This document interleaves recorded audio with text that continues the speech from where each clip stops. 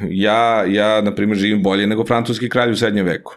Mi kao ljudi se stalno poredimo i to je prirodno stanje stvari. Niko od nas nije samostalno, ja ne mogu da živim bez drugih ljudi i niko ne može da živi jer smo mi socijalna bića. Znači ja lično eto mislim da a, se antidepresivi prepisuju previše. Mislim da postoji jedna semantička distinkcija, razlika u glavi svih nas. Ovo je droga, to je opasno, strašno, a ovo je lek i to je super i to me leči. A razlika između droge i leka je akademska. Ako damo ljudima nešto, njima bude bolje, kaže, e, baš mi je pomoglo ovo što si mi dao. A nije im pomoglo, nego su sebe ubedili da im je pomoglo. U fizici 1 plus 1 uvek 2 ali u medicini nekad će brufeti pomogne, nekad neće. Ja nemam pojma koliko Nikola Tesla diže iz benča. Možda ne može da digne ništa. Nekad je bolje i ne uraditi ništa. Jer kad uradimo nešto možemo i napravimo grešku. Oni ne dođu, kažu ja sam tužan, šta mi je? Kažu ja imam depresiju. Nije to, e ja ću ti dam pare, ti prepiši ovaj lek. Nekad je i tako. Nisam mnogo gledal. Mislim da ne postoji ni jedna čisto loša osobina Strah je mnogo jača emocija od sreće, na primjer. Elite nameću to pitanje, zato što to pitanje ne, ne, ne dotiče tokove novca. Kad se bijemo jedan na jedan, ili si sa mnom ili si protiv mene, Ma, manjina koja je vrlo glasna može veliki konflikt da napravi. Nema lepšeg mesta od Srbije ne zato što jeste, nego zato što je moje. Tako ja mislim, ja nisam zaljubljen u Srbiju, mnogo mana ima, ali je volim, jer je moja. Još podcast 1. Pozdrav svima, dobrodošli u Još podcast 1, moje ime je Ivan Ćosić. Na početku hvala vam što ste ovde, ostavite nam standardno share, like, subscribe. A, možete nas zapratiti na društvenim mrežama, ukoliko želite nas podržite, linkovi do Patreona i Paypala su u opisu ove epizode. Ukoliko nas gledate na YouTube-u, imate join dugme. Na početku hvala našim sponsorima, to su Beans Kafa uz kojoj razgovaram sa svojim gostima. Pogledajte Beansovu ponudu, link je u opisu ove epizode. Oni žele da vam veliki svet espresa donesu do vašeg doma ili kancelarije. Pogledajte njihovu ponudu. Naš drugi sponsor je Scandinavian Design Center, u njihovim stolicama sedimo, oni imaju široku ponudu proizvoda za opremanje vaše kancelarije, tako da pogledajte šta su sve lepo spremili za vas, link je u opisu ove epizode. Naš treći sponsor je Grooming Masters, Oni su mi poslali jedan set opreme za brijanje, takođe imaju proizvode za negu brade i kose, pogledajte njihovu ponudu, link je u opisu ove epizode, a imate i popust ukoliko kupujete nešto na njihovom sajtu, kod za popust je JPJ15, koji treba da unesete prilikom kupovine. Moj gost u ovoj epizodi podcasta je dr. Milutin Kostić, moj prijatelj, gost u 15. epizodi ovog podcasta dok sam još snimao preko Zuma i tad smo se dogovorili da čim napravim studio da ću ga pozvati ponovo.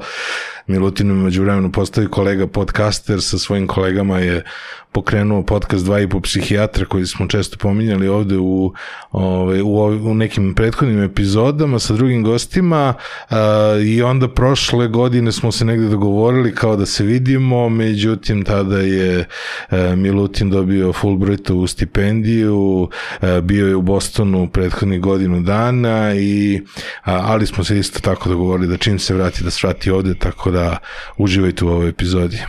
Dobrodošao ponovo. hvala, hvala što me opet primate. Ja sam hteo da napravimo epizodu čim napravim studio i onda ne znam kako je to sve proklizalo bilo, ali i sećam se da tada sam stvarno, stvarno uživao, to mi je bila 15. epizoda, baš je bilo dobro, ono.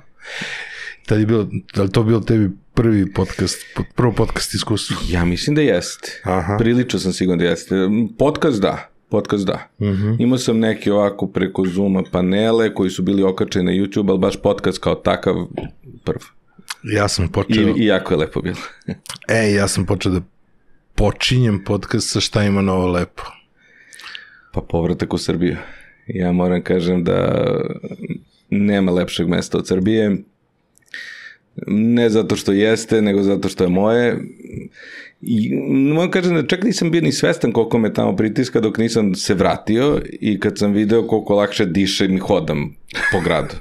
Mislim, eh, tamo je vreme išlo sporo, ovde ide kako treba, možda malo prebrzo, ali dobro i stvarno je, stvarno je nekako, nisam, nisam što se kaže rođen baš, možda je to i do Amerike, mhm. -huh. Amerika je vrlo, vrlo specifična, posebno što smo mi bili i živjeli u predređu zbog škola za decu, e, a to je nešto potpuno jedan drugi život, e, i ovo je nešto što meni mnogo više prija i za dušu i za telo i na svaki drugi mogući način.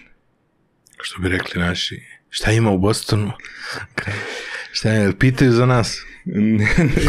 Kažu mi, kažu mi deca da je manje više svako kad im kažu da su iz Srbije da, da su mislili da su iz Sibirija i nemaju, nemaju uopšte ni To im je pojma. prvo asocijacija, Mada, definitivno. Nemaju pojma. Znači nije naša ono... Ne, krajnji smo im neinteresantni i mislim, ne mogu mnogo ni da krivim, ovaj, ali da, kad čovjek ode tamo malo i ovaj naš, jer imamo i mi malo tog egomanijačkog sad, mi smo mnogo važni, nismo uopšte važni, potpuno smo neinteresantni ovaj, tamo, ali Boston je interesantan, ali meni je najinteresantnije taj njihov kulturološki rat koji toliko jasno bukti tamo, koji onako još nije oružani rat, nadamo se da neće postati, ali zaista...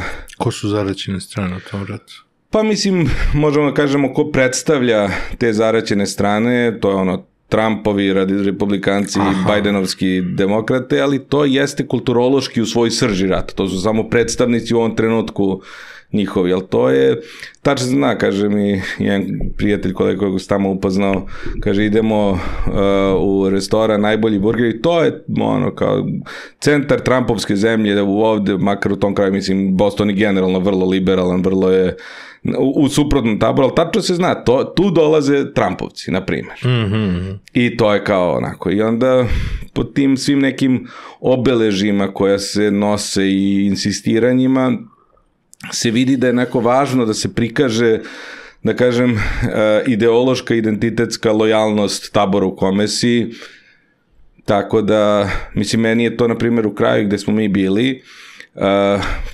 katolički pravoslavne, ali protestantske crkve skoro sve, na primjer, imaju da se viori ispred njih ili da je negde izlepljeno one uh, gay trans zastave. Mm -hmm. I sad, ok, ali dakle to je dotle otišlo da čak i crkva negde mora da se pozicionira u odnosu na, na primjer, eto tu priču.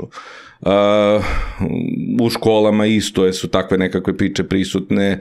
Uh, ovde da sam ja bio na poslu, tema rasizma, znači sad se sve posmatra kroz onako rasnu prizmu. Te neke priče su mnogo, mnogo izraženije nego što, na primjer, ja pamtim. Uvek je naravno Amerika imala problem rasizma, ali čini mi se da je u jednom periodu od 80-ih do nekih ranih 2000-ih ili po sredine 2010-ih to išlo u jednom pravcu ipak, da kažem, uh, normalizovanja, mešanja i tako dalje, a sad se opet to stavlja nekako u prvi plan. Mm -hmm. Da li to dobro ili loše, ja nisam siguran. Mislim da stvara više deobe nego što stvarno celi, za celi varane, ali dobro. Ja nekako ideološki te stvari uvijek doživljavam kao dva tabora i ogromnu većinu između neopredeljenu. I, ali imam utisak da ta sad većina neopredeljena između kao da hoda po minskom polju društvenom. E, meni je bio onako, da kažem, otkrovenje, sad iskacapit ću brojke, ali mi je interesantno bilo da je, na primer, 89. napravljena anketa uh, u kojoj je uh, pitano građani Jugoslavije da li su za opstanak Jugoslavije ili za rastavljanje.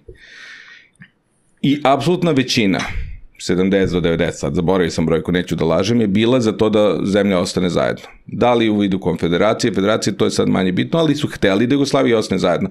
Ma, manjina je bila za to da se razbije država. Uh, problem je što, uh, a posebno se to sad dodatno amplifikuje u vreme društvenih mreža, ma, manjina koja je vrlo glasna može veliki konflikt da napravi, A zbog tog identitetskog našeg, kad krene konflikt, mi moramo da se pozicioniramo u tabor. Mi ne možemo da budemo, pa ne, nećemo ni za jednog. Ne, kad se bijemo jedan na jedan, ili si sa mnom ili si protiv mene. I ja se slažem s tobom da većina a, nije duboko investirana u tu borbu, u taj kulturološki rad, da većina a, ne zna mnogo o tome i ne razume neke detalje, ali jeste primorana od vrlo glasne i uh, onako uh, strastvene manjine da negde se ipak pozicionira i kaže pa dobro ja sam sa ovima kogod da su oni, da li su to mm -hmm. republikanci, konzervativci ili liberali ovaj, demokrati. Partizanovci, zvezdaši, Tako je.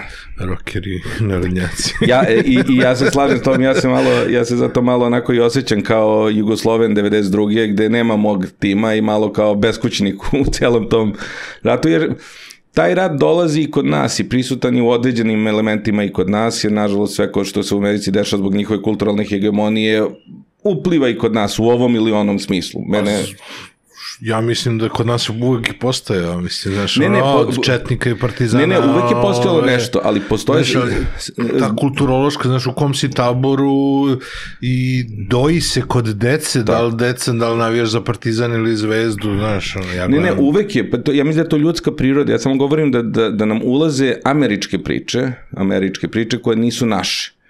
I s te strane, evo, meni je interesantno bilo, pričam ja sa prijateljima o malo politici, za koga da se glasa, za koga da se ne glasa, I on kaže, ovaj moj prijatelj kaže, pa ko je, ko je njihov stav o nekoj partiji o trans pravima? I sad, to jeste neko pitanje, ono ima svoje mesto.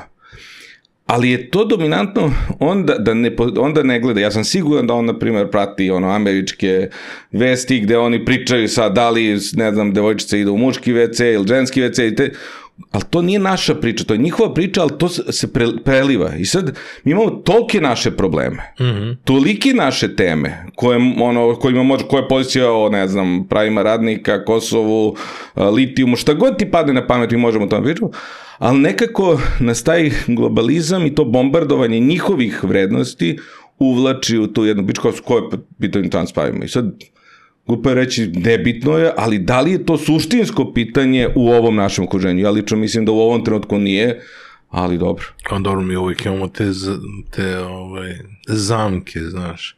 Ja sam uvijek bio u varijanti kao, jel možemo u politici na godinu dana da ostavimo Kosovo, Srebrnicu i gej prava, znaš. Kao, samo da sredimo državu, znaš, na, na godinu dana, da zaboravimo ta tri pitanja i posle tih godinu dana da napravimo, ok, ajde sada svi da pitamo šta želi većina. Problem je što ja, mislim, ja sam tu sad paranoidan u okviru toga, ja zaista mislim, postoje te neke teme koje su strašno emotivno nabijene, Mm -hmm. I ja zaista u ovom, da kažem, neoliberalnom kapitalizmu u kome svi živimo, gde imamo jednu manjinu koja kupi sve, jedna, da kažem, srednja klasa brana koja negde ok živi i može da brani sistem zato što je još uvijek dobro u njemu i ipak većinu koja se bori za ličnu egzistenciju. Um, podela na one koji nemaju i one koji imaju, naravno, nešto što ne odgovara elitama i onima koji imaju novac i onima koji kontrolišu medije. I onda ja zaista mislim da oni nama i nabijaju te priče o koje suštinski ne dotiču e, tokove novca. Jer evo, pitanje transprava, tri- pitanje abortusa je, na primjer, strašno bitno. Mnogo bitno pitanje abortusa, to je sad u Americi aktualno ali ja ne, ne, ne umanjujem to pitanje, ali ja imam paranoidnu tendenciju da, da mislim da a, elite nameću to pitanje, zato što to pitanje ne, ne, ne dotiče tokove novca. Dakle, da li je dozvoljen abortus ili je nedozvoljen abortus, nikakav nema uticaj na to da li će oni najbogatiji ostati najbogatiji i da li će oni najsiromašniji ostati najsiromašniji i da li će biti neke možda pravednije preraspodele kapitala. Dakle, sve ta pitanja koje mi pič, o kojima pričamo, u stvari same tokove novca ne dotiču, ali su strašno emocionalno nabijene i jesu i bitna, posebno za određene vulnerabilne grupe koje su u tome. Dakle, to ne umanjuje to, ali nekako uvek se određena pitanja kao pitanja radničkih prava, kao pitanja toga da li je normalno da imamo nekoga ko ne znam ja 100 milijardi i nekoga ko na ulici nema leba da jede u istom društvu, u istoj zemlji, uh, meni te stvari prosto, što ti kažeš, nisu, uh, izmešani su mi prioriteti. Da, da, Ali- ali... A onda je toj glasnoj manjini zapravo dat megafon. Da. I sloboda društvenih mreža da svako može da objavi šta god želi. I ja sam gledao čak, jer to jesu onako, to je, ide u identitetsko to, ne poklo, eh, ideja klasnog identiteta radničke klase od propasti komunizma dramatično, da kažem, eh, eh, se umanjila ili čak nestala, A mi ćemo uvek imati, na primjer, polni identitet. I onda sam gledao neku američku novinarku koja kaže, meni je, uh, ja kad napravim reportažu o radničkim pravima, klikne ili ono, hiljadu ljudi, a kad napravim reportažu o trans pitanju, onda je, ne znam, sto hiljada. I ona onda ima i incentiv, što se kaže, da, da priča o tim stvarima, jer to ljude i nameće im se kao tema svih tema. A da li ona, to je pitanje. Da, ali onda kad gledamo evolutivno, znaš, onda će ljudi stvari koje ne vole, stvari kojih se plaše, stvari koje su im negativne, pre da, da idu na njih i onda to neminovno dovodi do negativne selekcije u medijima. Jeste, i to kažu ljudi da prosto jeste deo, da prosto strah je mnogo jača emocija od sreće, na primjer. Mm. I vuče nas i da je prosto to nas, to nas uh, uh, obaveštava o riziku. Mi imamo, ne znam, četiri osnovna osjećanja, strah, tuga, bes i sreća. Tri negativna, na različite variacije da ukažu našu socijalnu poziciju na koje sve načine može da bude loša i samo jedna pozitivna. Jer nam je mnogo važnije da razumemo za preživljavanje da nešto ne valja nego da valja. Lepo i kad valja, ali bolje da, znaš, da znaš da, da, li, da li si ugrožen, evolutivno je definitivno imalo više koristi. Ali mi smo potomci onog pesimiste koji nije hteo da proveriš bun da li ima lavu u njemu. Znaš, I koji da- se malo plaši od tog lava, znaš. E, nisam siguran da se tu slažem. E, ljudi su, ljudi su miks. E, ljudi, ljudi, jedno, mi smo socijalna bića, mi nismo, evolucija ne ide individualno. Znači, nije to samo ja koji evoluiram kroz istoriju iz moje potomke sam sa sobom. Ja evoluiram u okviru zajednice. I sad, ako mi imamo, e, e, zbog toga, praktično selekcija se vodi i ka ekstremima. Jer ja volim taj primjer da dam. Imamo dva prosečna lika u šumi. I svaki od njih može da ono, ponese 50 kila preko 100 metara za jedan minut i može da uradi jedan matematički zadatak za jedan minut. To je neki prosek. Na drugoj strani šume imamo dvojicu drugara, od kojih jedan nikad nije volio matematiku, ali mnogo voli trenira i on može da digne, da prenese 100 kila za jedan minut, a njegov drugar može da uradi, nikad nije volio trenira i ne može ništa da digne, ali može da uradi dva zadatka za jedan minut. Mm -hmm. uh, ova druga dvojica će za jedan minut uraditi duplo više od one prve dvojice, kada gledamo, dakle, u, o, obe, obe te stvari zajedno. Okay. Znači on će preneti za jedan minut 100 kila i uraditi dva zadatka, a ova prva dvojica će uraditi, uh, će preneti 50 kila i uraditi jedan zadatak za jedan minut, kad su zajedno. Ako ja živim sam u šumi, ja želim da im, od, u svemu budem pomalo. Ali ako sam uh, u zajednici, uh, korist od specijalizacije postaje eksponencijalno važnije. Jer i ono kad mi gledamo, mi kroz istoriju slavimo one koji su bili mnogo, mnogo vešti u jednoj. Ja nemam pojma koliko Nikola Tesla diže iz benča. Možda ne može da digne ništa. Ja nemam pojma da li ima lep glas. Nemam pojma da li je, ono, da li ume da priča lepe priče. On je znao fiziku. S druge strane, Mozart je lepo svirao klavir i lepo je komponovao. Ja nemam pojma opet, nije ovo, nije, i tako dalje. S te strane, mi kad gledamo i u ovim aspektima emocionalnim, uh, mi se u svemu tome negde preklapamo. I sada, mi jesmo iz jednog malog dela savane Istočne Afrike došli do Kamčatke i dole do Patagonije. Jer je neko gledao to žbunje. A s druge strane, a, smo imali i one kada to oni dođu i kaže ajmo da vidimo šta je iza brda i vidimo iza brda je, nema, ima lepo neke bobice, pa onda se preselimo tamo, pa onda idemo dalje i dalje. A s druge strane kad legnemo da spavamo, taj što je hteo da pogleda, dok je ovaj drugi ok, nema jesi normalan, ko zna šta je tamo, ovaj, kad legnemo da spavamo, ovaj što je opušten, on zaspi punim snom, a ovaj što je anksiozan, on se budi i trza na svaki šum. Mm -hmm. I dovoljno je, on će da se pobudi, to ja govorim o ovim anksioznim pacijentima koji imaju te malo pojačane strahove i to, da to prosto nije samo lo, dobro loše, to je loše, a ti ovo je, treba da nemaš to. Ne, to je imalo svoju svrhu. Jer jednom je bilo dovoljno da se probude na šum gde je stvarno lava, a ne neki miš ili bilo šta, i da spasu cela, celu grupu. Tako da, uh, oba imaju korist. Oba imaju svoju vrednost i onda, na primjer, eto, Kolumbo je seo na brod i otišao u prazan okean, očekujući nešto, možda i da ne nađe. I sad, ja nikad to ne bi radio, već si ti normalan čoveč. A s druge strane, on kad se vratio, vratno su sve žene želele da budu s njim, zato što je to dosta onako šmekerski potez i on je hrabriji i uveštiji od nas. E, Ja praktično mislim da ne postoji, nisam mnogo gledao, mislim da ne postoji ni jedna e, čisto loša osobina. E, osobina e, svaka ima svoju dobru i lošu stranu. Ono što postoji jeste produkt. Dakle, ja ako brzo odlučim, odlučno nekakvu, u, u nekoj opasnoj situaciji i rešim posao, I on će kao, ja vi kako on odlučan bio, svi su se zaledili, ne znali šta da rade, a on je odlučno nego, i to je strava. S druge strane, ako ja brzo odradim nešto i pogrešno odradim i zeznem stvar, ćeš što si brzoplet. Odlučan i brzoplet su iste strane, druga strana iste medalje. To nije kao dobro loše. Oba imaju svoje mesto, a to je onda čista statistika šta ćeš češće da uradiš ovako ili onako. Isto tako za obran drugi kraj toga. Kaže, vi što on odgovoran, lepo, temeljno uvek odradi, sve pregleda i onda znaš kad je odradio da radi super i onda svi kažemo, jao, to je super, on je odgovoran.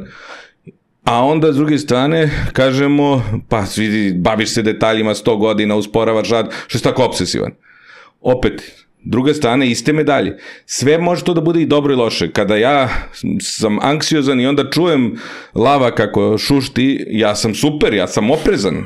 A kada se pobudim i, sve probudim zato što je miš bio, što si smarač anksiozni, opusti se. Tako da je tu negde, mi smo potomci, ono što ću kažem, jednih i drugih. Miksa svega je to se onda izmešalo. Ne, super su mi slike, ove, fenomenalno mi je ovo za Nikolu Teslu iz Benča, koliko je ne, ne bi bilo loše da da kroz tu prizmu pogledamo i ne, gomilu nekih drugih stvari.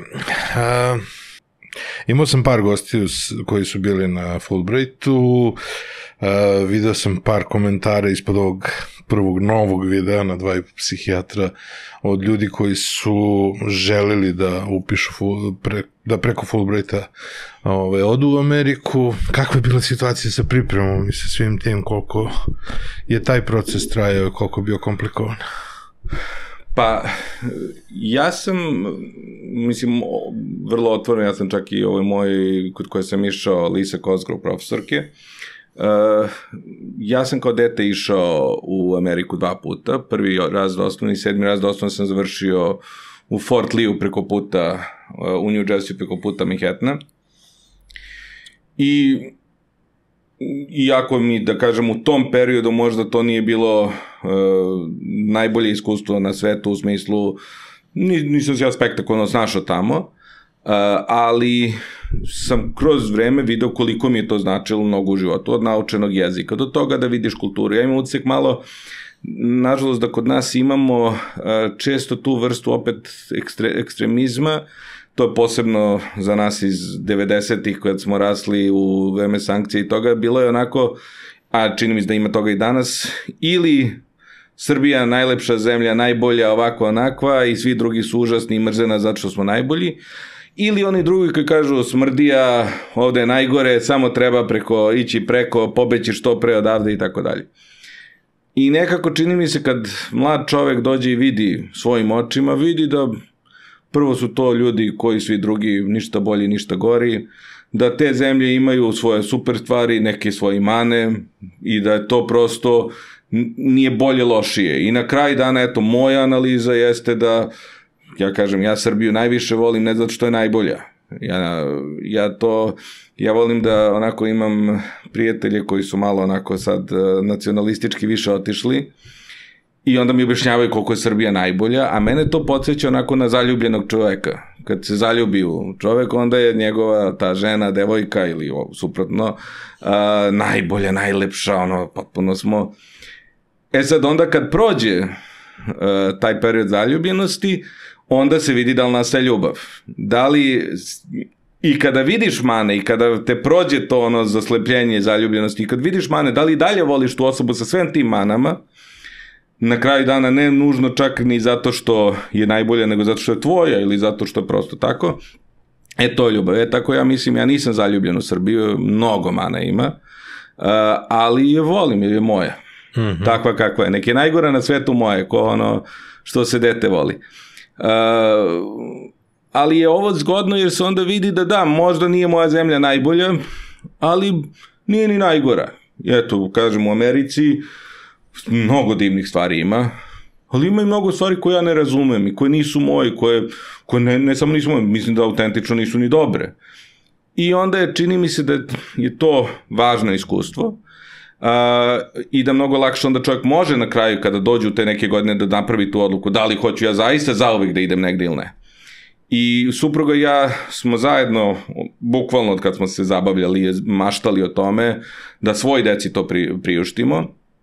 I pre dve godine smo mušli u proces, posto je iz sobstvenog, da ne bismo sada pružili dvoma da ima troje dece, ali jedna malo mlađa, čerka, i onda smo hteli da i ona dobije isto što i oni, da ne ide ona sa tri godine pa da ničemu ne znači, a da oni dobiju to iskustvo, pa smo čekali da i ona bude, da kažemo, mm -hmm. školskog uzrasta. I prvi krug eh, nisam prošao, prosto što je bio jak udarac na moj ego, jer kako je moguće da oni ovakvog cara ne izaberu. Ove, ovaj, e, I onda smo se lomili da li da idemo, da li ne, onda je bio problem zato što je to bilo idealno vreme, jer čerka je bila prvi, sin jedan peti, drugi sedmi razred. I za ovo drugo dvoje je super i ovako, za ovog trećeg osmi razred i nekako, ja imam divne uspomene osmi razred, meni je to nekako ostalo kao jedna od najlepših, ono, tad sam doživao vrhunac posle, ide samo nismo.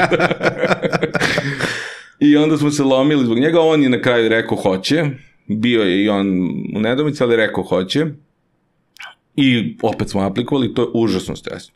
Znači mi smo u oktobru predali, pa, sam ja predao papire, ja sam tek početkom maja, čini mi se, saznao da definitivno ide. Tri različita kruga, prvo papiri, pa onda intervju ako te izaberu, pa onda ide tamo u Ameriku, pa...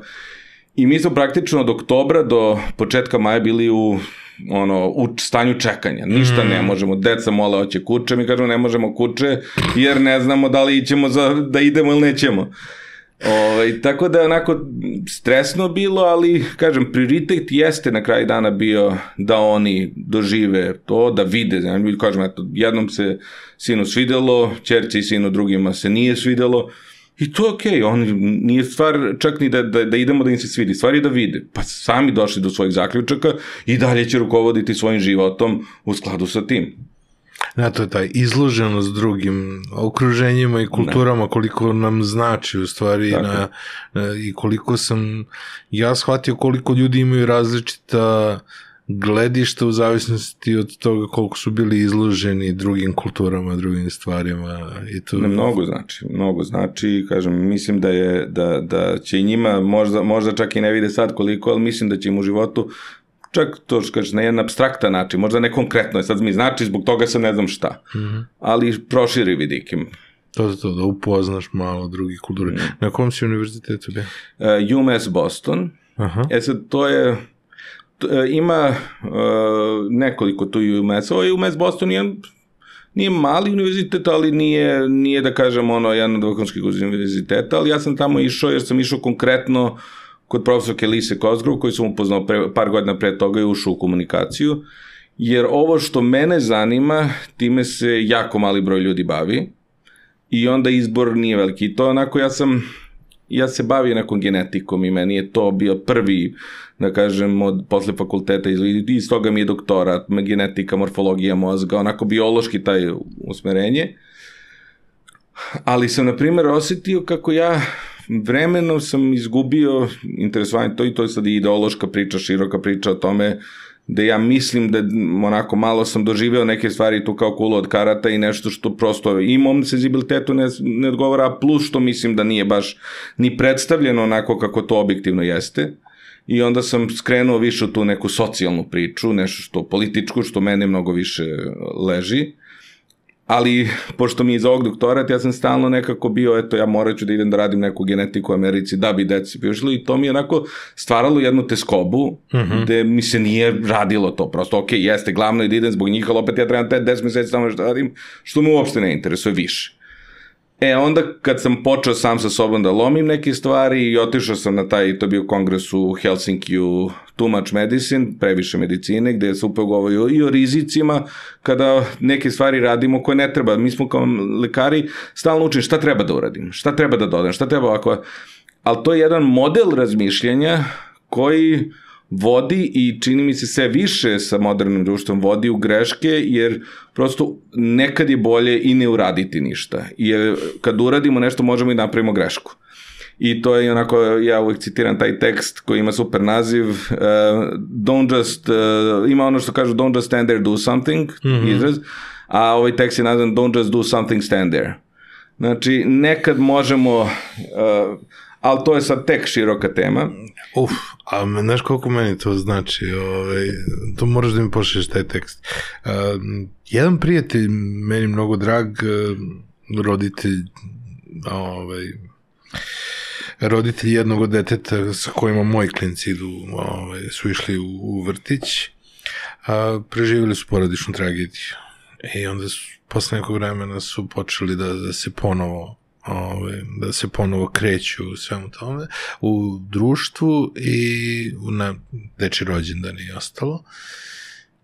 I onda u jednom trenutku smo ono, znaš, samo sedeli, znaš, izašli na cigaru sa dečeg rođendana, znaš, i onda mi on rekao koliko mu je bilo značajno da samo ćuti sa mnom, znaš, jer meni je bilo u tom trenutku, znaš, ono, ok, ne, znaš, ne možeš da, da pomogneš, ovaj, znaš da je teško, jednostavno mm. samo možeš da ćutiš, da slušaš, da pustiš, da taj neko samo priča, jer prosto samo je potrebno negde da, da, ovaj... Ili ne priča. Da, da.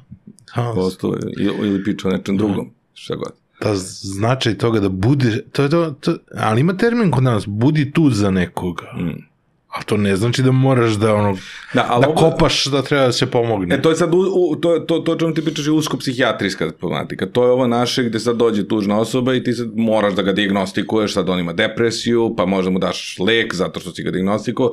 To je taj deo sa ljudskim osjećanjima. Ali ovo je i šire medicinska mm -hmm. priča, jer ti sad uh, imaš, meni je onako bila mnogo na tom kongresu interesantna priča, ja mislio da je to baš iz ove prizme jedna dominantno psihijatrijska priča, a onda sam shvatio da u stvari to medicinska priča, Naprimer, ka, uh, kako ćemo da uradimo randomizovanu kontrolnu studiju duplo slepu za operacije?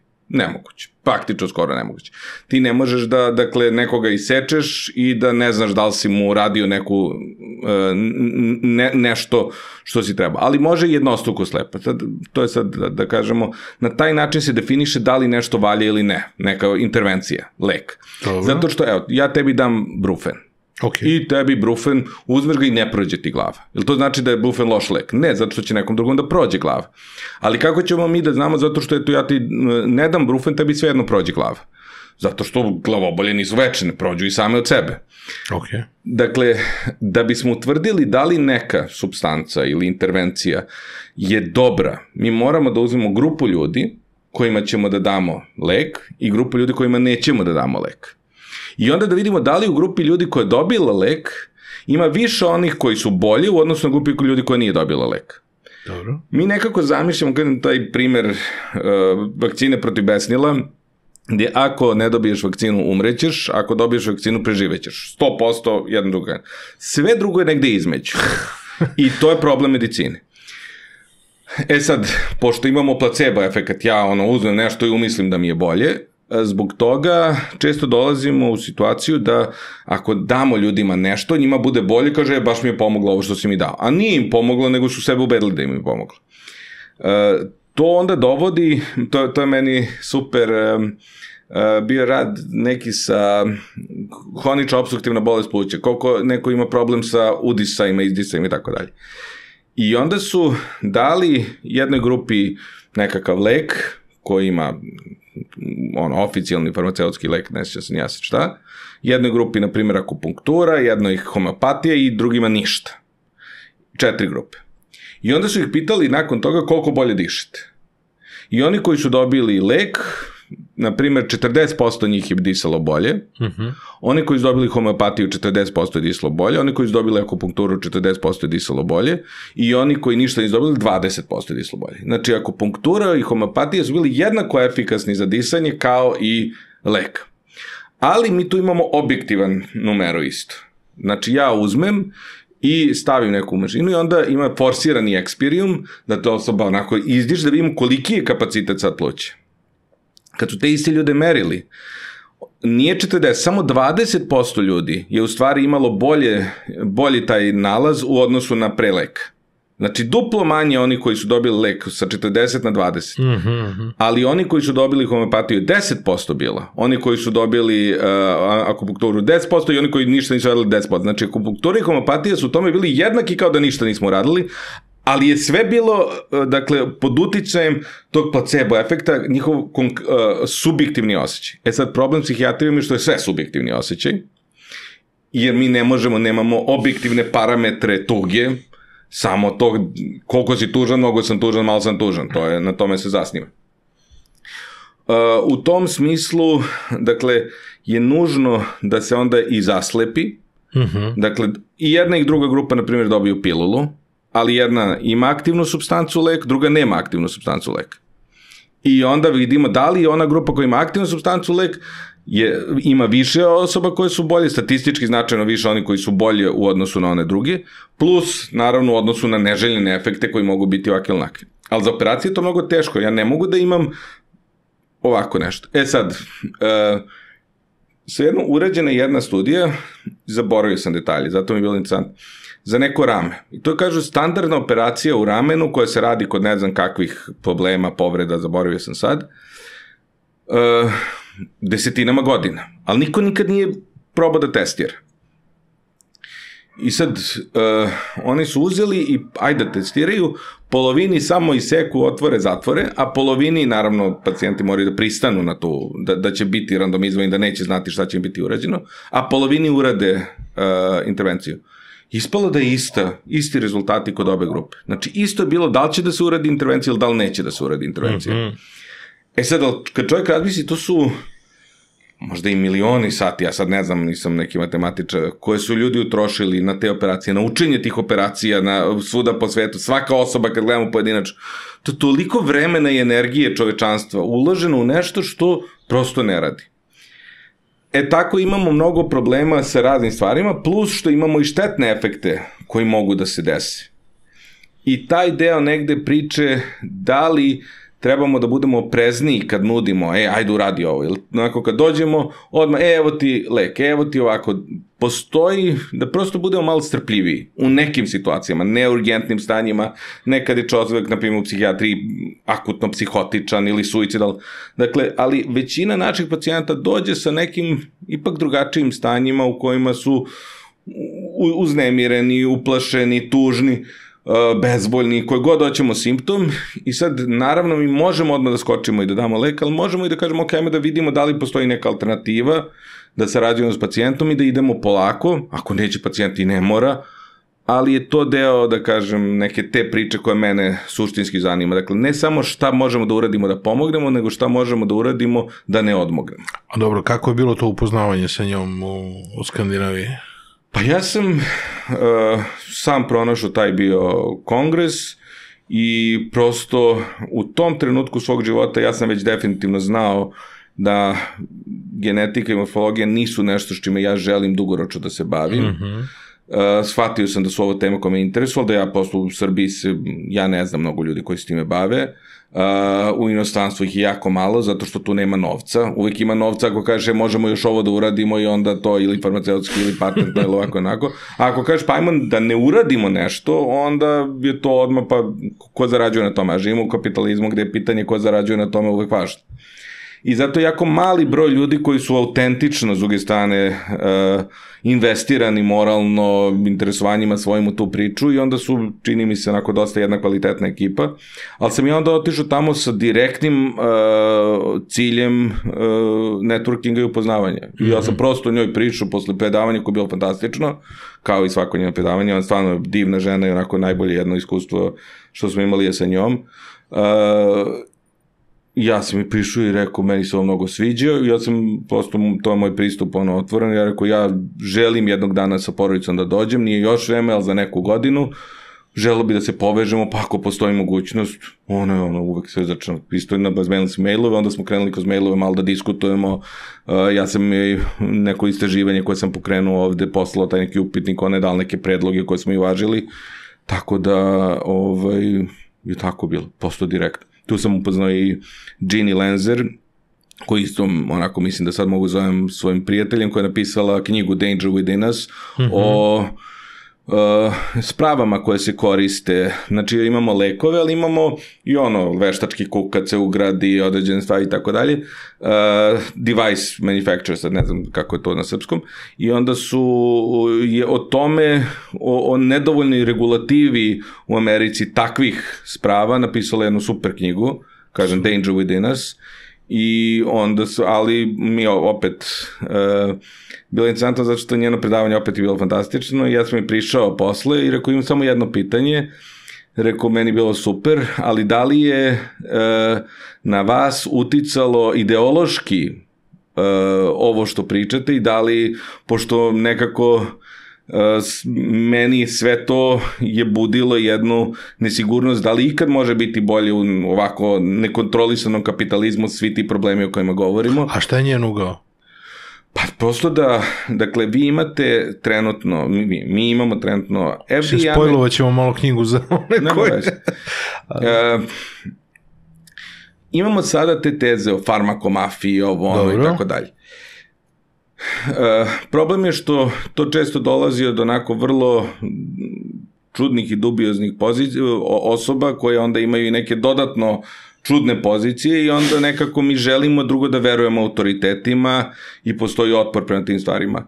Problem je što posto živimo u kapitalizmu. U kapitalizmu je osnovni cilj stvarati kapital.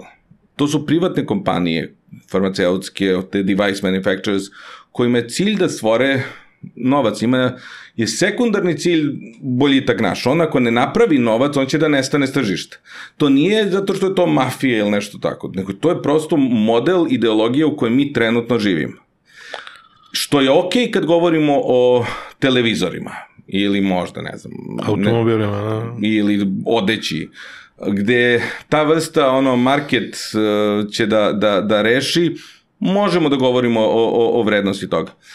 Kod ovako nepreciznih stvari i kod ljudi koji su, dakle, vrlo uh, promenljive kategorije, različiti među sobom, gde je sa statistikom može dosta toga da se izmeni, gde imamo istoriju da su ljudi koristili određene međustanja ne bili prodavali često i toksične stvari ili gde su se dešavale prosto greške sa ono talodom, talodomidom i tako dalje kroz istoriju. Uh, mi znamo da određen nivo kontrole toga mora da postoji, kontrole kvaliteta i tako dalje.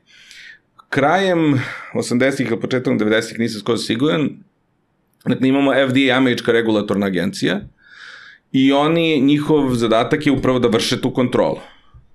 Uh, krajem 80-ih, početkom 90-ih, za vreme, čini mi se, Busha ili možda već za vreme Regana, je uh, uvedeno to da deo FDA budžeta dolazi od farmaceutske industrije. Dobro. Dakle, onaj koga ti kontrolišeš te i plaća. I tu dolazi do određenog urušavanja uh, kriterijuma, kategorija i ono što vidimo sada uh, bezbednostnih pitanja, ono što vidimo je, na primjer, opijna epidemija u Americi, koja je apsolutno mogla da bude sprečena, ali jesu stvari progledane kroz prste. Mm. U određenim ima i sad i serije prava tome i svi svesni, ali šta je urađeno kad pogledamo to? Da, uh, Purdue Pharma je ugašena. Nijedan jedini sakler nije otišao u zatvor, oni koji su vlasnici te kompanije, nikakvi zakoni nisu promenjeni da se spreči da se ponovo nešto tako desi. Dakle, i dalje sistem štiti te stvari. I to je ono generalno što nažalost postoji. Postoji to da u trenutku kada uh, te vrste uh, substanci, proizvoda uh, su pod uh, uticajem tržišta, a ne pod uticajem, dakle, nekakve objektivne nauke, šta god ona bila, pod uticajem nekakve dobrobiti čovečanstva, može da dođe do pravljenja većih problema nego koristi. To ono što meni, znaš, meni čak i u najpozitivnijem, ono, u najpozitivnijoj verziji priče, u priči koja je sasvim normalna, imaš uh, ono, lek koji pomaže sa 80% i lek koji pomaže sa 100% uspešnosti, ali onaj sa 80% pravi profit od 10 dolara, a onaj sa, ove, sa 100% uspešnosti pravi profit od 5 dolara, oni će da stave sve ono žetone na onaj što je profi, što je profitabilniji. To je druga stvar, sad mislim imamo... Znaš, to, taj sitan Excel u, u velikim korporacijama, meni čak, znaš, sve ove neke priče i nisu toliko strane i nekako kapirno našom kao društvo je tako, ali me taj, znaš ono to, taj fine tuning u Excelu e, da se nešto zato što je profitabilnije stimuliše više nego nešto što bi zapravo moglo da bude skroz ok, samo nije toliko profitabilno. To, to je taj deo, deo sa, sa prosto tim tržišnim uh, prioritetima koji na kraj dana, kažem, ne znam da li možemo ikad u ovom ideološkom konceptu da ih savladamo, ali mislim da je važno da imamo ljude koji će o tome govoriti, bez da odemo u drugu krajnost, pa ne znam, ne treba, eto, ne treba da se vakcinišemo protiv da. da. COVID-a, nego treba da uzmemo hidoksiklovin, kako se već zove. Jer ni za to nema dokaze. To opet, to je jedno, e, lako rešenje. Znaš, nije ovo lako rešenje, ovo nas laže establishment, ali ovo je super lako rešenje. Problem je priznati nema lakog rešenja, Uh, I onda da vidimo, ok, šta je najmanje loše rešenje, šta je potencijalno najbolje u svoj toj kakafoni informacija, statistika, svega drugog što imamo. Problem je što uh, postoje, kada postoje finansijski interesi, ima ona super izjava, Uh, ako želite da čovek ne, ne razume u potpunosti neku materiju, uh, dajte mu platu da mu ona zavisi od toga da je ne razume. Uh, I mislim, to je ono gde mi uđemo u to da prosto nećemo da, da i mislim da je to deo tog urušavanja i poverenja koje prostoje prema medicini i pravljenje, mm -hmm. to, to je deo ovoga isto ideološkog što sam pričao u Americi, a što ima i kod nas, to je jedno ono antivakseri protiv onih koji bezuslovno veruju u nauci, A onda, kažem se, ja negde često osjećam ko beskućnik i u tome, gde ne, ne verujem bezuslovno nauci, ja znam da nauka nije objektivna stvar, to je interpretacija u, u, u medicini. U fizici 1 plus 1 uvek 2 ali u medicini nekad će brufeti pomoć, nekad neće, nekad će da ti napravi čuje čiž na želcu, nekad neće. Znači tu postoji sad mnogo tih aspekata o kojima mi moramo i treba da diskutujemo, a koji su često zaglušeni, između ostalog, i to je po meni prosto moralno najgore pitanje profita. I onda je tu nešto protiv čega takođe moramo da, da se borimo. Na čemu, je, na čemu ste dogo, ste dogovorili da zajedno radite? Kak, ajde, samo, pošto sam ja oslušao epizodu, ali ne verujem da će svi gledoci pa prvo gledati ja tu epizodu. Nisam ni pominjao sve što smo radili. Dakle, mi imamo... Ali u principu Fulbright je odešna da se uradi jedan projekat, ali tako? Teorijski da, s tim što kažem, to je posle. Ideja je bila da radimo vezano za benzodiazepine, to je ono osnovno na čemu se radili i tu zaista smo ušli u jednu vrstu podrške projektu uh, izglasavanja zakona o obavezi uh, lekara u Massachusettsu da uh, saopštavaju rizike od benzodiazepina, pa lekova za smirenje, sedativa, pacijentima kojima se prepisuje. I to je, da kažem, ta neka osnovna priča iz, iz kojom se na kraj dana, dana ja otišao. Ali smo umeđu vremenu gomil nekih sitnijih projekata od kritike, diagnoze, produženog tugovanja do e, sada trenutno pišemo, radimo isto kritiku jedne nove substance koja se prodaje kao e, novi lek isključivo za postpartalnu depresiju. Ne znam ni da li smem da govorim mnogo o tome, ali suštinski ja zaista mislim, ja sam na primjer predložio da, da idemo uh, sa nekakvom koncepcijom rada pisanja yes but, da ali, u mhm. smislu mm -hmm. tehnički je sve određeno po proceduri. Znači, ne postoji nikakva nije to mafija koja je sad laže i što se i to se dešava. GlaxoSmithKline je platio 3 milijarde dolara kaznu jer jesu i lažirali nekako i sakrivali nekako. Ima i to. Ovde je tehnički sve određeno po proceduri. Uh, ali to je ili još jedan od naslova uh, ima ono evidence-based medicine, medicina zasnovana na dokazima, to je ono što je ideal. Imamo dokazi, tako radimo medicinu. ovo da bude uh, form-based medicine, da se forma ispuni. Mm -hmm. Dakle, oni su ispunili formu, ali to nije kako se nauka, to nije, na primjer, pitanja neka koja bi možda mene ili tebe interesovala kad, kao naučnike, nisu postavljene. Zašto? Zato što odgovor može da ne bude dobar. Oni nemaju obavezu to da pitaju. Ali neko kome nije cilj profit, nego kome je cilj iskrena nauka i da razume, na primjer, tu substancu, bi postavio to pitanje.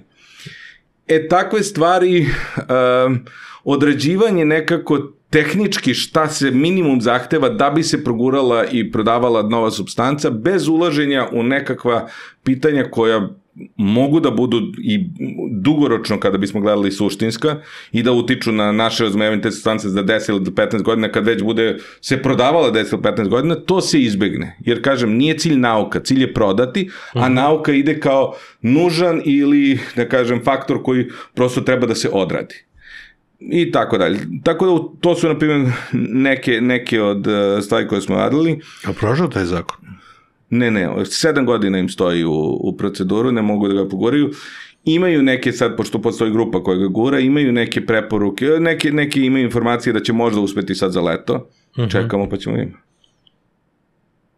A šta je precizirano? Znači da psihijatar može da ti, o, njih, kada ti prepisuje lek?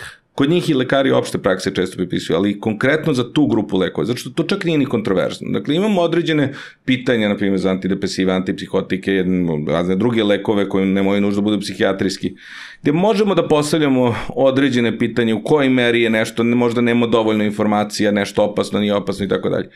Ali ovde je nauka već 50 godina prilično jasna. Ti lekovi često izazivaju uh, zavisnost, zloupotrebu, abstinencan krize kad se prekinu i tako dalje. Dakle, to nije nikakva kontroverzna stvar. I sve što zakon kaže jeste kada prepisuješ ovaj lek koji ima svoje mesto, koji ja ga nekad prepisujem, ja ga uzimam kad letim jer imam strah od letenja, Dakle, ima svoje mesto, odličan lek u jednom uskom opsegu, mm. ali mislim, antibiotik je najbolji lek na svetu, pa ja i ti sad ga ne uzimamo, zato što znamo da ima vreme i mesto kad se uzima, a ne samo prepiši i onda godinama i godinama da se uzima. Niti, kao što sme, se... niti bi smeli da, da trošimo svoju... Ono... Tako je. E, ali ovo se dešava da posle se prepiše lek i ide, A jedan od razloga jeste zato što mi kao lekari nedovoljno pričamo o tim delovima rizika, nego samo, e, ovo ti dobro uzmi. I onda pacijent, ja mislim ima, i to je sad isto jedno istraživanje koje se nadam da ćemo uraditi, mislim da postoji jedna semantička distinkcija, razlika u glavi svih nas. Ovo je droga, to je opasno, strašno, a ovo je lek i to je super i to me leči. A razlika između droge i leka je akademska. Mi negde na osnovu koristi i štete, koja se menja naša analiza toga, definišemo, posebno kod psihoaktivnih substanci, definišemo da li ćemo da je zovemo lek za određeno stanje ili droga za određeno stanje. I tako, na primjer, benzodiazepin, naravno znamo da ako ja sad za žurku uzmem benzodiazepin, ovo neću možda za žurku, ali ovako da se opustim na ulici, da je toga koristim kao narkotik. I da znamo da je marihuana bila droga, sad i u mnogim zemljama lek, možete biti postoji kod nas, MDMA, uh, psilocibin, magične pečovke, ketamin, sve substance koje se istražuju i koje se već koristi u lečenju određenih psihijatrijskih stanja, koje su se prodavale na ulici, ilegalno može policija u zatvor da vas stavi. Dakle, da li je narkotik ili lek?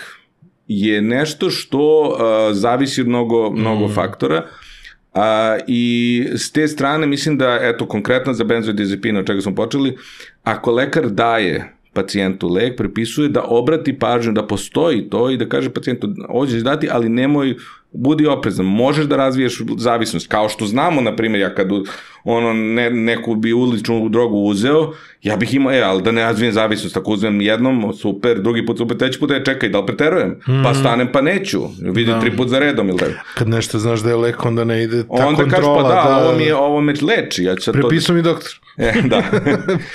Mi doktor. I dobro je za mene. A mišljenje, zašto se Jordan Peterson lečio baš od benzusa ovde? Pa nema mišljenje, mislim, to, to je leposto ja verujem da je to... Srbija dobro destinacija za to za stranice? Ne, ne znam dovoljno, ne znam ni to gde je išao, neću te, te lažem.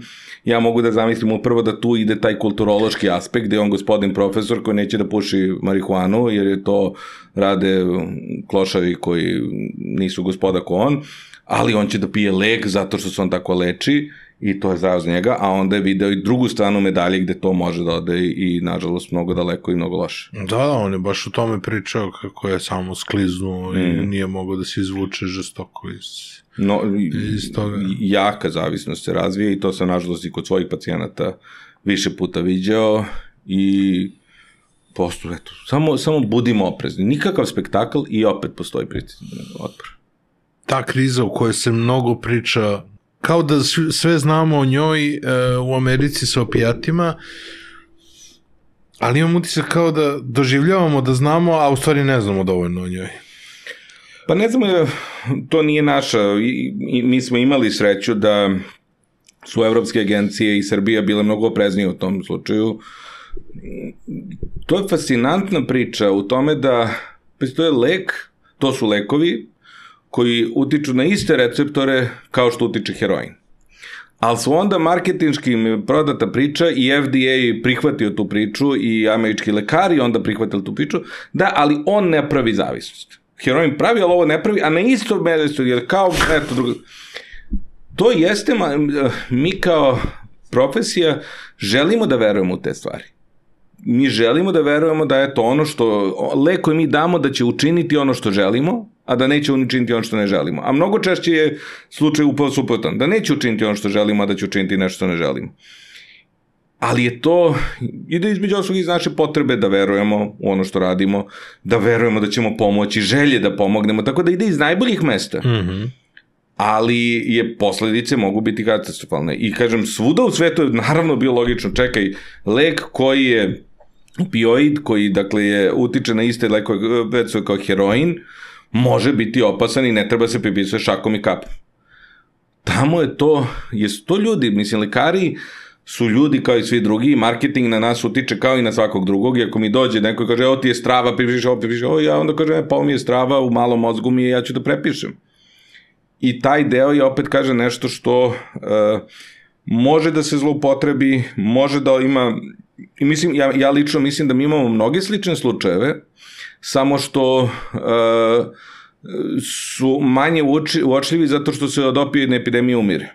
A od nekih drugih epidemija se ne umire. I sad, to je mnogo manji onda problem, ali je isti princip greške. Mm -hmm. Znači, ja lično eto mislim da uh, se antidepresivi prepisuju previše.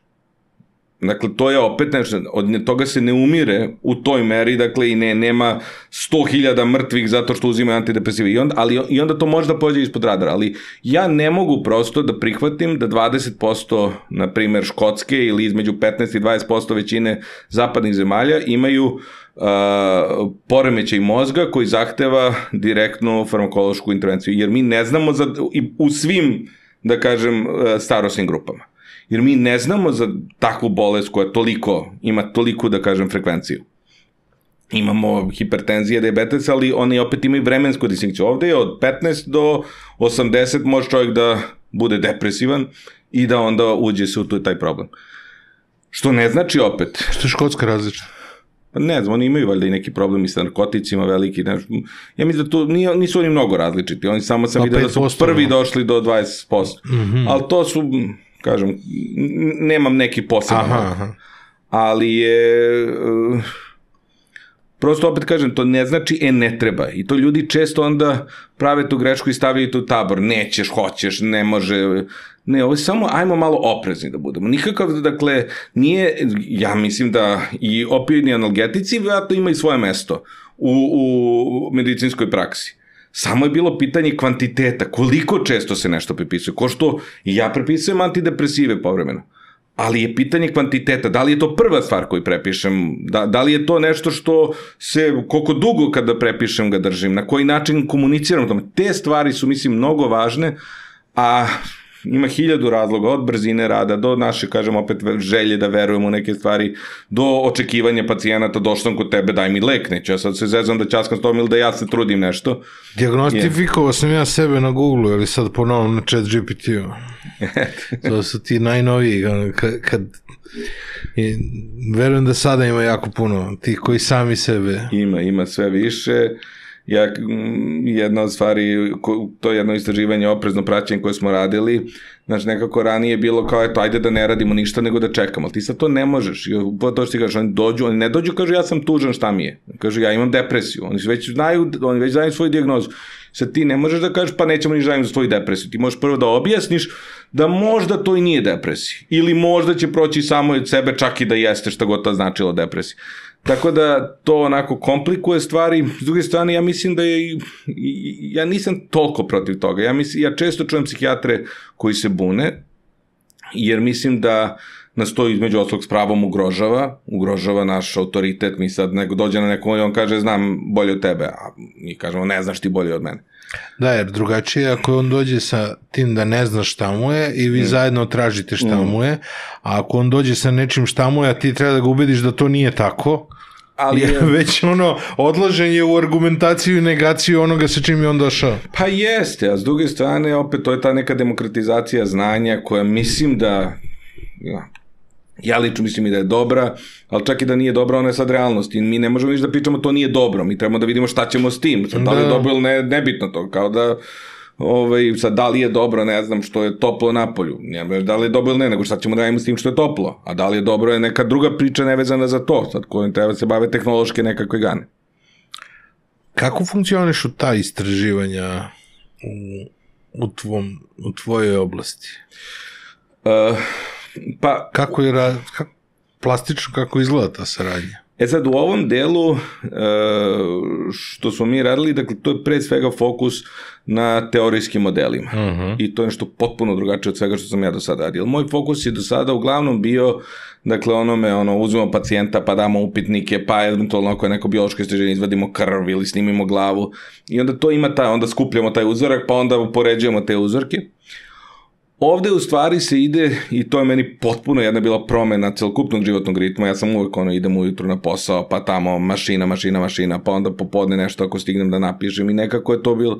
Ovde je to, čitaš do izbezumljenja, povezuješ stvari i onda praviš te teorijske koncepte. Tako da je to više kao jedna vrsta socijalne nauke, kao što filozofske nauke, gde mnogo manje se ulazi u taj praktičan deo, nego ti na osnovu onoga što već postoji praktično praviš modele, predloge i tako dalje. Tako da je to bio onako dosta jedna promena u, u ritmu životnom e, i malo da kažem jačanje tog opšteg znanja, ali prijelo. Malo. Koje su te još stvari iznenadile, šokirale? U, u, u opšte ili medicinske? Pa u svih tih godinu dana. Šta mi je iznenadilo ili šokiralo?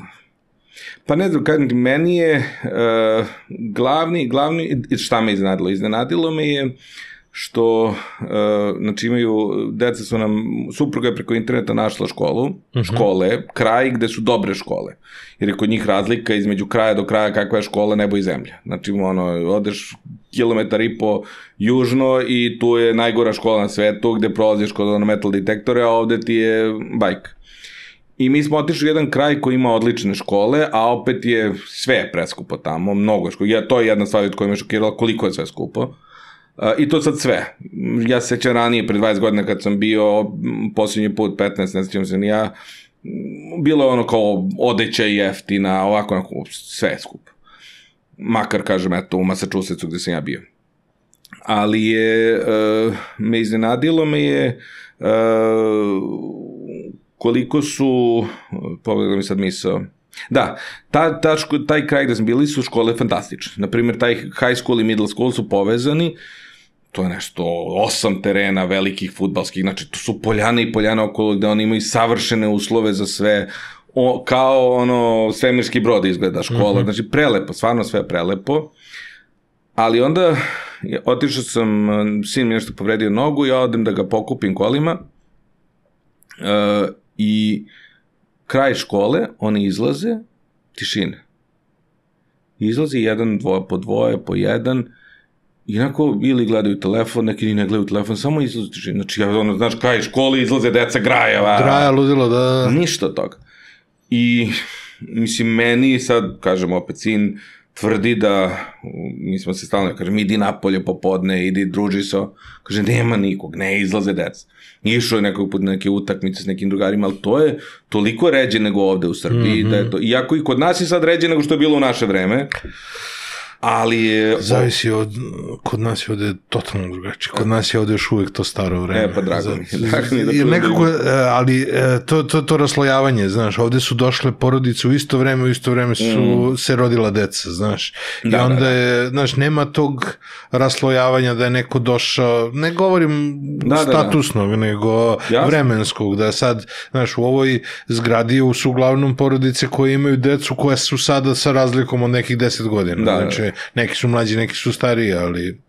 Ima, ima, kažem, ovo- ima, ja, posto meni onako ideja, ja znam kad smo mi bili, odem 12 sati napolje i vratim se uveč. E sad, moje deca i ovde izađu nekoliko sati, svaki dan izađu nekoliko sati, pa se vrate, pa malo ble, pa onda opet malo, ali opet postoji to, vole da se i vrate kući. Ili, Ali i postoji ta varijanta da postoji šansa da kad izađu deca da će da nađu nekog da igraju futbol, ne mogu igraju Da. futbol sami, znači. Da, da, da.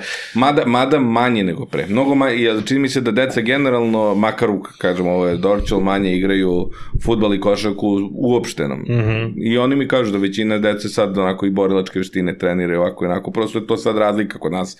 Košarkaški tereni su uvijek bili puni u 90-ih, to je bilo broj 1, 2 i 3, e sada je to.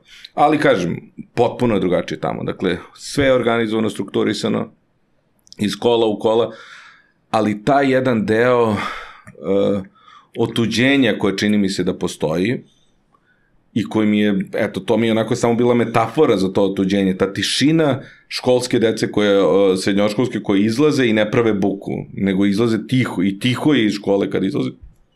Meni to baš bio onako šok i mnogo mi je tužno bilo.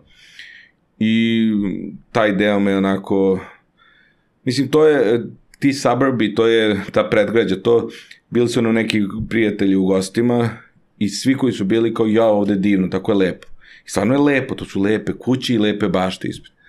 Ja sam do kraja toliko to zamrzeo. Jer ja nikad ni jednu osobu nisam video na tim lepim travnjacima. Nikad niko ne sedi tu i sad pije kafu ili priča neko da... Nik, to sve savršeno upeglano, ali pusto. I oni idu iz kola u kola. Ako vidiš nekog na ulici, to je da šeta kuće ili eventualno džogira. Znači, taj život u predgrađu meni je onako, kažem, imam ispred zgrade neki uh, kafić u Srbiji, I sad ja sam dva put bio u kafić, ja nemam naviku tu sad izađem i sedem u kafić ispred zgrade, posto nije, nije ne, nešto što imam u navici. Ali, znaš, ti izađeš i tu neki ljudi nešto pričaju, neka, ne, nešto se dešava. ti Opet, sad prođeš opet, pored opet toga. graja. Graja, ti prođeš pored nekog života. Ovamo je to, nema ništa, to se samo iz kola u kola, ode se, pokupi se, stavi u kola, nazad i taj deo mi je onako baš, da kažem, solidno bio otužan i mislim da objašnjava u velikoj meri određene i probleme koje imaju, ko onda, kažem se, ide, čini mi se u pogrešno u to individualizovanje, uh -huh. to što si nesrećan je problem u tebi, a nije problem u tome što smo razorili tu strukturu, da kažem, zajednice, uh, detinjstva, oni sad imaju taj problem što je sve fokusirano na bezbednost dece, što naravno najsigurniji su deca kad ih staviš u televizor u kući kratkoročno, ali šta je sa dugoročnim njihovim razvojem? Ili između oslog kroz probleme koje, u koje ulaze kad su na ulici, kroz ovo, kroz ono, oni se razvijaju psihološki i onda uh, budu zadovoljni, uh, samostalni u nekom sferi, ali ne potpuno i opet i ta samostalnost je nešto se forsira, niko od nas nije samostalan, ja ne mogu da živim bez drugih ljudi i niko ne može da živi, jer smo mi socijalna bića. To, to je jako interesantno, zato što mi je... Ja sam imao utisak kad je izašla ona Harvardova studija dugovečnosti, kada su kao provalili da najduže žive ljudi koji su okruženi sa svojim nekim zajednicama, pa je onda Gladwellima u Outliersima i o tome smo i pričali u prvoj još epizodi, znaš, sad mi je ovo još super interesantno, znaš, čudi me da nemaju više nekih inicijativa, incentiva za, za neko minglovanje, za neko druženje. Pa neki se ba trgaju, ali znaš, to je, to ja mislim, moguće sam i taj primer koji ste u prošloj epizodi, to je ono sindrom um, šimpanze rođenog u zoološkom vrtu. Da. Znači ti, to je sve što ti znaš. Ti sad osjećaš da nešto ne valja. Ali ti ne znaš šta to ne volja, ti si ovako naučen od života i ti samo znaš za zoološki vrt i ti samo znaš za te rešetke i sad nijedan šimpanz nije, e, strava mi, ovo je moj dom i ekstra mi je, jer si ti zatvoren, ti osjećaš nešto, ali ti, on ne može sigurno da razume, e, pa meni nedostaje džungla, on ne zna kako izgleda džungla. Isto tako osoba ne zna kako to izgleda biti deo zajednice. Čak, ja verujem da ako stavimo šimpanzu u džunglu i mislim da postoje to da ono, oni su nesnađeni, vratno su i anksiozni, su u nepoznatom okruženju, ne znaju kako se snađu i onda vratno i beže nazad, u, u, bi, bežali u, u zoološki vrt, a opet si nesrećan. I to je to što se od starta, dakle, pravi ta jedna vrsta modela koji je onda mnogo teško prvo da prepoznaš kao problem, a onda da ga tek razbiješ. A kada tu našu, našeg kolegu iz, ovaj, iz predgrađa staviš u urbanu džunglu kad ode na posao, koliko je to za njega šok za sistem? Pa, ne Iz, znam. iz tog mira. Pa, Kada, e, koliko ja- u stvari, ja verujem- koliko je centar Bostona, recimo, sličan onome što vidimo na filmovima sa Manhattanom, recimo? Ne, mi s Manhattanom nemaš sporedi ništa. Mislim, Manhattan Ok. je potpuno čudo na čudima i fantastičan je ja, opet kažem, krajnje subjektivno. Uh, mala, mala digresija. Suprug Lise Cosgrove kod koja sam bio je Inače sad je novinar, ali je bio uh, s krajem 70-ih taksista u, na Manhattanu. I on je bio, kaže, vozio je jednom i Warhola iz, koji je nosio sliku. A živeo je u Hell's Kitchen, to je Upper West Side, u sirotinskom kraju na Manhattanu sa okružen radničkom klasom i latinosima. Kao taksista je mogu da priušti za sebe i svoje dete ili decu, ne da da tada već ima više, da žive tu. E, I on mi je pričao kako u to vreme, ono što, što znamo iz filmova, ono Studio 54, kako zove, ili već, Da, da, ali kako pa ono, znam. na, porno, oni bioskopi na Times Square-u, na, kaže na 10 metara te nude krek i tako dalje. A, uh, i ono što mi je interesantno, što mi je rekao, mislim, ovo je potpuno digresilna vez, uh, na, da je u to vreme otprilike svaki peti lokal ili svaki peti stan bio prazan na Manhattanu. Zato što prosto to je bio jedno onako sirotinski, najveći deo Manhattana, bili su delovi, ali ja, ja sam prilično ubeđen da ni na jedan deo Manhattana se poslednjih 20 godina nije doselio niko ko već nije bio milio, ko nije milioner. Jer to sad toliko je prvo prepuno turista, toliko prepuno novca, sve je gentrifikovano, to sad izgurava potpuno u, u to nek smislu. I Bronx, koji kad sam ja upravo to bio klinac 90-ih je bilo nešto gde prosto ne ideš u Bronx, Bronx je ono, ako neće, nećeš da mnogo rizikuješ svoj život. Ovaj, sad postoje čak i delovi Bronxa koji su gentrifikovani, gde vrlo su ono lepi, gde žive srednja klasa i tako dalje. Tako da mi je onako tu interesantno koliko se izmenilo, uh, ali ja opet kažem, New York je neverovatan grad. Boston je jako lep, suštinski je sam centar tog Bostona mali. Dakle, ti kad pogledaš te, ja, ja kažem, na primjer, dan i po ti treba intenzivne šetnje da vidiš sve što je urbano i vredi videti. Od Harvarda, MIT-a do tog downtowna, do onog uh, upper dela gde su, gde, gde je sad kao italijanska četvrt. I sad tu ima taj deo gde je sada italijanska četvrt, to je meni najlepše, to je onaj najstariji deo, gde opet se vidi da su to ono, ciglene kuće koje su građene za radničku klasu koja je radila pod okovima, a sad je sve to upeglano, ja verujem, i rekli su mi da sad tu najčešće iz finansijskih onih uh, distrikta dolaze, ali hoće da žive negde gde izgleda autentično. Ali je ovo ostalo dosta, da kažem, uh, uh, delovi su mi malo suviše ispeglani, Uh -huh. do nivoa da mi je malo dosadno izgleda. I te, lepo je, nemaš ti sad kažeš ja bez veze. Lepo je, ali da je spektakularno.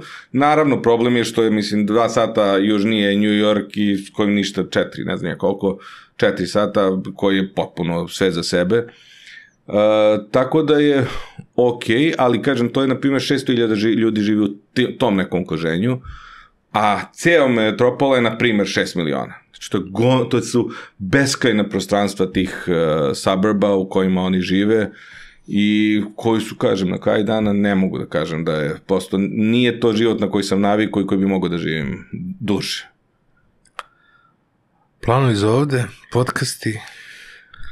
Pa evo, vratio sam se, imao sam tu jednu epizodu sa dva i po psihijatra, to smo onako, nisam htio ni da, neko, aj mogu ispričam u- ukratko šta sam radio, čisto ovako da se popuni prostor, uh, ali s obzirom na te neke i moje promene, interesovanje i sve, sam počeo malo da pričam sa Urošem iz Podmedije s kojim sarađujemo o potencijalno novom podcastu po koji bi ipak bio malo drugačiji e, tematike, dakle ne usko psihijatrijski, koji je jedna od ideje da, da ga e, nazovemo, to, to, sam, to mi palo na pamet, Politics in Medicine, Psychiatry and Science, pa da bude skraćenica PIMPS, ali, ali mislim da, mislim da, da nećemo biti ozbiljno shvaćeni ako tako pristupim. Zašto?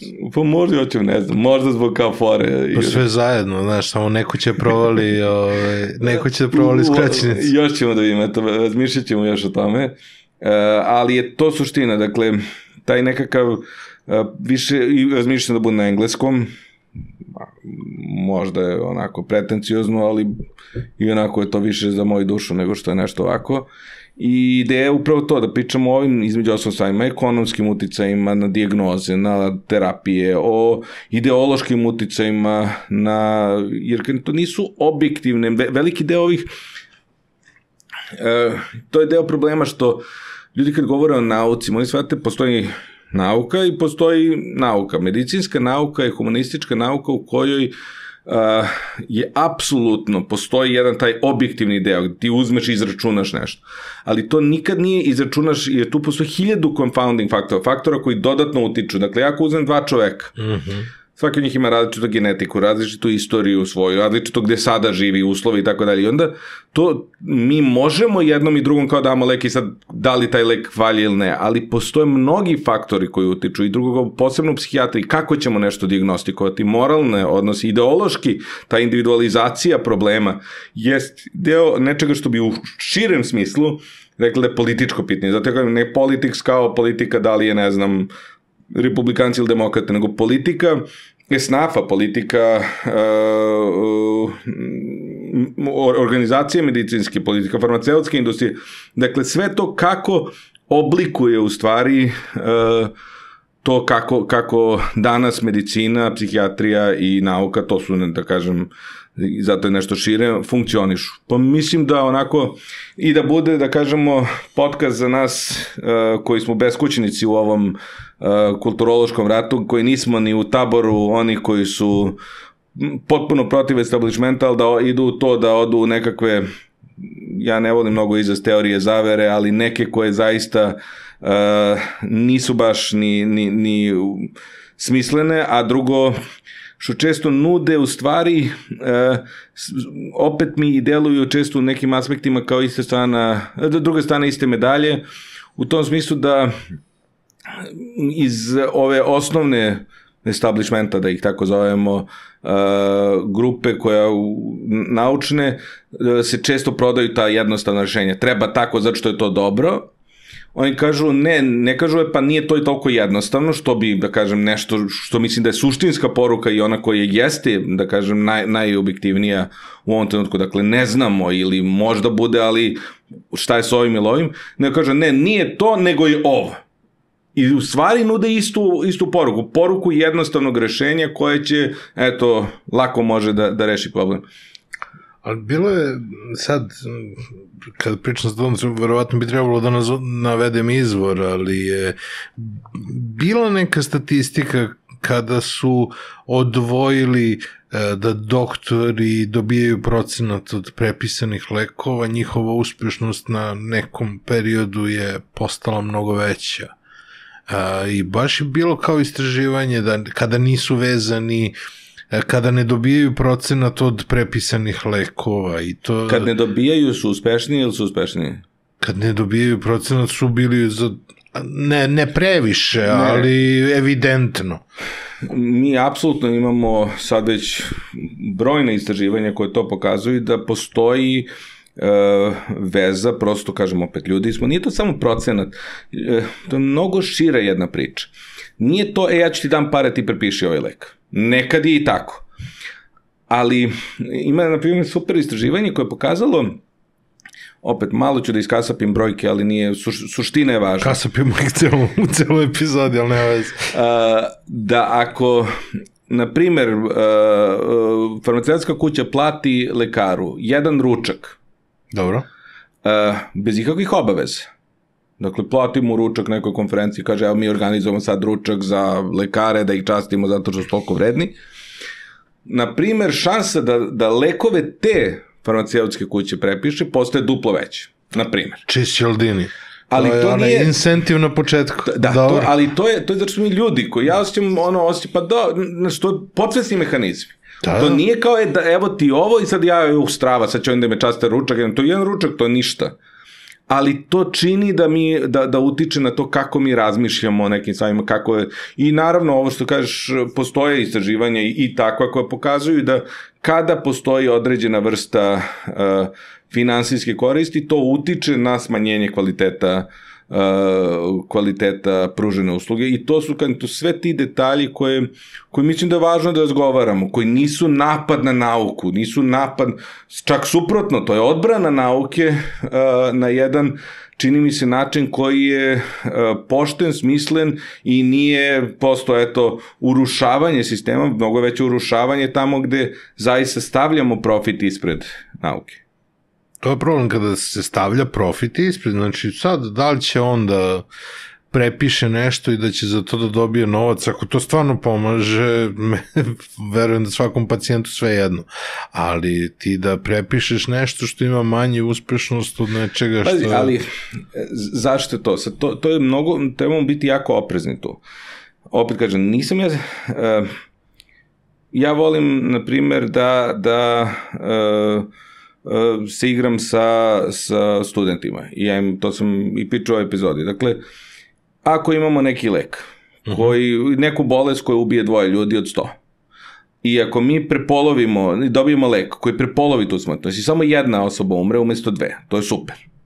Ali mi ne znamo od svih tih 100 ljudi kojima će taj lek da, e, da, da pomogne. Mi moramo svim 100 da damo. E sad, u tome oni mogu da imaju neke neželjene efekte. I kažemo, ako jedna osoba dobije trogodišnji glavobolj, da li vredi? Onda studenti kažu, pa vredi. Ako dve, pa, uglavnom vredi. Tri, već malo počne nedumica, ali kao vredi. Četiri, već neki prestanu da kažu da vredi. Pet, šest, u nekom trenutku svi kažu, pa ne vredi, su više velika šteta. Uh, u tom smislu, uh, lekovi nisu samo njihova efikasnost. I to je ono što, što jeste problem, što se često pravi to, to je dobar lek. Šta to znači dobar lek? Nema, lek je odnos koristi i štete. Da li je korist značajno veća od štete ili dovoljno veća od štete, uh, što opet se menja u odnosu na opasnost bolesti. Ta računica za karcinom možda bude drugačija nego za žulj na nozi. To mi se sviđa ono kao sve krenite od vakcine za besnilo pa na dole. Da. E, i sad kad kažemo, neće nikad lekar da kaže, e, ovaj je le- lek bolji, a ovaj je gori, sad ću ja da prepišem gori lek. Nego će i sam lekar, kažem, ja zaista, možda sam naivan, možda ja želim, opet kao što svi mi lekari želimo da verujemo, ja verujem da većina ili skoro sve moje kolege ne razmišljaju tako, e, ja ću sad da mu prepišem ovaj gori lek, zato što ću ja da zaradim pare. Ja nisam video da se to tako dešava uglavnom ali može da kaže, pa dobro, da sam sebe ubedi da je ovaj lek možda bolji, posebno kad su, jer su u ogromnom broju slučajeva razlike su minijaturne. Pitanje je da li je efikasniji ili nije efikasniji. Da onda možemo kaže, pa dobro, možda je ovaj za 3% efikasniji, ali ovaj ima ovaj neželjni efekat umesto onoga, pa je možda bolje ovaj da damo, da opet ubacujemo svoje nekako ubeđenja, stavove i tako dalje. Tako da to nije, ne bih ja to na taj način išao, e, sad vi prepisujete lekove koje ne valjaju da bi zaradili, ali... Ali e, prepisivali su onoj, uh, onom bajasu ljudskom, ono kad imaš čekić svaki problem postaje X, znaš. Apsolutno. I onda ako imaju procenat od određenog leka, prepisuju taj lek i čak i kada ima, znaš, prosto ono, i to čak ne sa nekom zadnjom namerom, nego kao automatizam. Da, i to je, ali to ide i ne samo, uh, apsolutno to čekić i lek, ali to nije samo konkretan lek. To je ono što je meni, da kažem, negde fokus, taj, uh, ta ideologija uopšte rada, da ja moram da prepišem nešto. Da li to ovaj ili onaj lek postaje, postaje nebitno. I to, na primjer, mi često imamo ove awareness kampanje. Kampanja da ti digne svest o postojanju neke bolesti. Ljudi ne znaju da većina tih kampanja finansirane od farmaceutske kuće koje direktno prodaju lek za to. E sad oni, dakle, tebi ne prodaju lek, oni prodaju bolest. A onda će lek već doći do tebe. Zato što između oslog direktno da farmaceutska kuća finansira, reklamira lek ima samo Americi na Novom. Kod nas ne mogu da reklamiraju mm -hmm. neki, na primjer, antidepresiv. Ali ako kaže, e, razmišljajte o depresiji a depresija je takva bolest koja, kažem, ili kada je bolest, nekada i nije bolest, može da dovede do toga da se lako čovek koji je nesvećan, nezadovoljan prepozna u tome i da dođe do onoga što je preterano, što zovemo over treatment ili over diagnosis, ili ti preterano diagnostikovanje i preterano terapija, tamo gde je ne treba. E, taj deo priče čini mi se mnogo važniji u, u tom nekom smislu isto, dakle, ne nužno ni same pojedinačni lekovi i na taj, nego medikalizacija društva, medikalizacija osjećanja, to je pre svega za psihijatriju, ali to je sve i ta prodaja jedne, kako bih, ideologije i bajke da za sve postoji magični metak koji će da reši i sada ti imaš taj problem i uzmi ovaj lek i bit će ti super. Što nekad jeste tako, nekada je korist mnogo veća od štete, ali, dakle, mi ovde ne govorimo o individualnom, ja ne govorim, o individualnom Uh, uh, konkretnom razgovoru lekara i pacijenta u sobi kad su njih dvoje sami.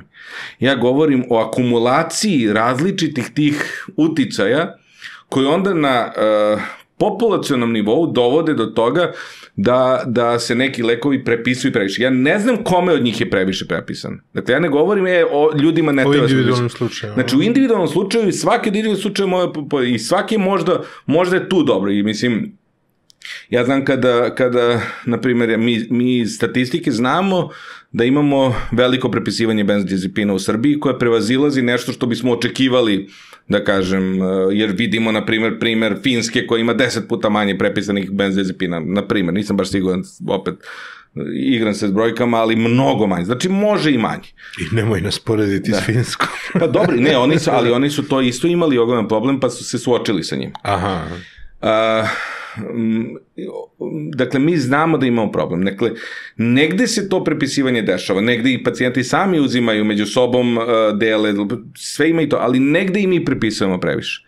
Ali sa svakim individualnim lekarom ja kad pričam, pa ja, ja pazim. I ja verujem da veliki broj njih pazi. Ili većina, ili neki. Ali negde se to dešava i naše onda da vidimo gde se to dešava i jedan od faktora jeste, kažem, ta ideologija uh, prosto ono, moram da lečim, imam čekić i evo ga, ovo je ekser i odmah da se ide. I tu se gubi opresnost i na populacijnom nivou, ja kažem opet, ne znam individualno uvek, ali na populacijnom nivou čini mi se da, da, da, da se dešava nešto što onda više šteti nego koristi.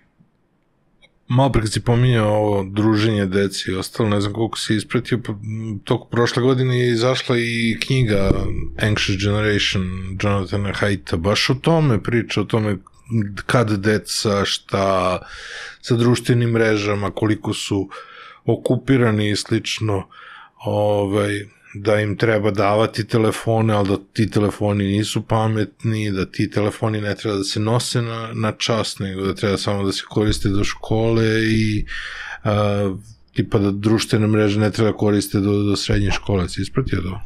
Jesam i meni je to, na kraju dan, zbog sobstvene dece jako interesantna tema. Um, ono što opet to jeste jedna tema u kojoj ima puno bombastičnih često izjava koje nisu baš podržane naukom. Ono što sam video, čini mi se da Haidt malo voli da, da isto što kaže, bira statistiku koja, koja uh, ispunjava sliku, a odbaca ono koje ne. Što ne znači da nije u pravu, zato što je to toliko komplikovano pitanje, da je tu skoro pa nemoguće zaista utvrditi. Dakle, mi imamo populaciju u kojoj se dešavaju sto različitih stvari u isto vreme od promene, od mobilnih telefona, do ekonomske krize u svetu koja je krenula 2008-2009, do uh, promene paradigme šta je to i kako roditeljstvo treba da bude. Hiljadu nekih stvari se dešava uporedo, uh, od kojih uh, je jako teško iskasti. Znači, šta bi, kako bi mogli?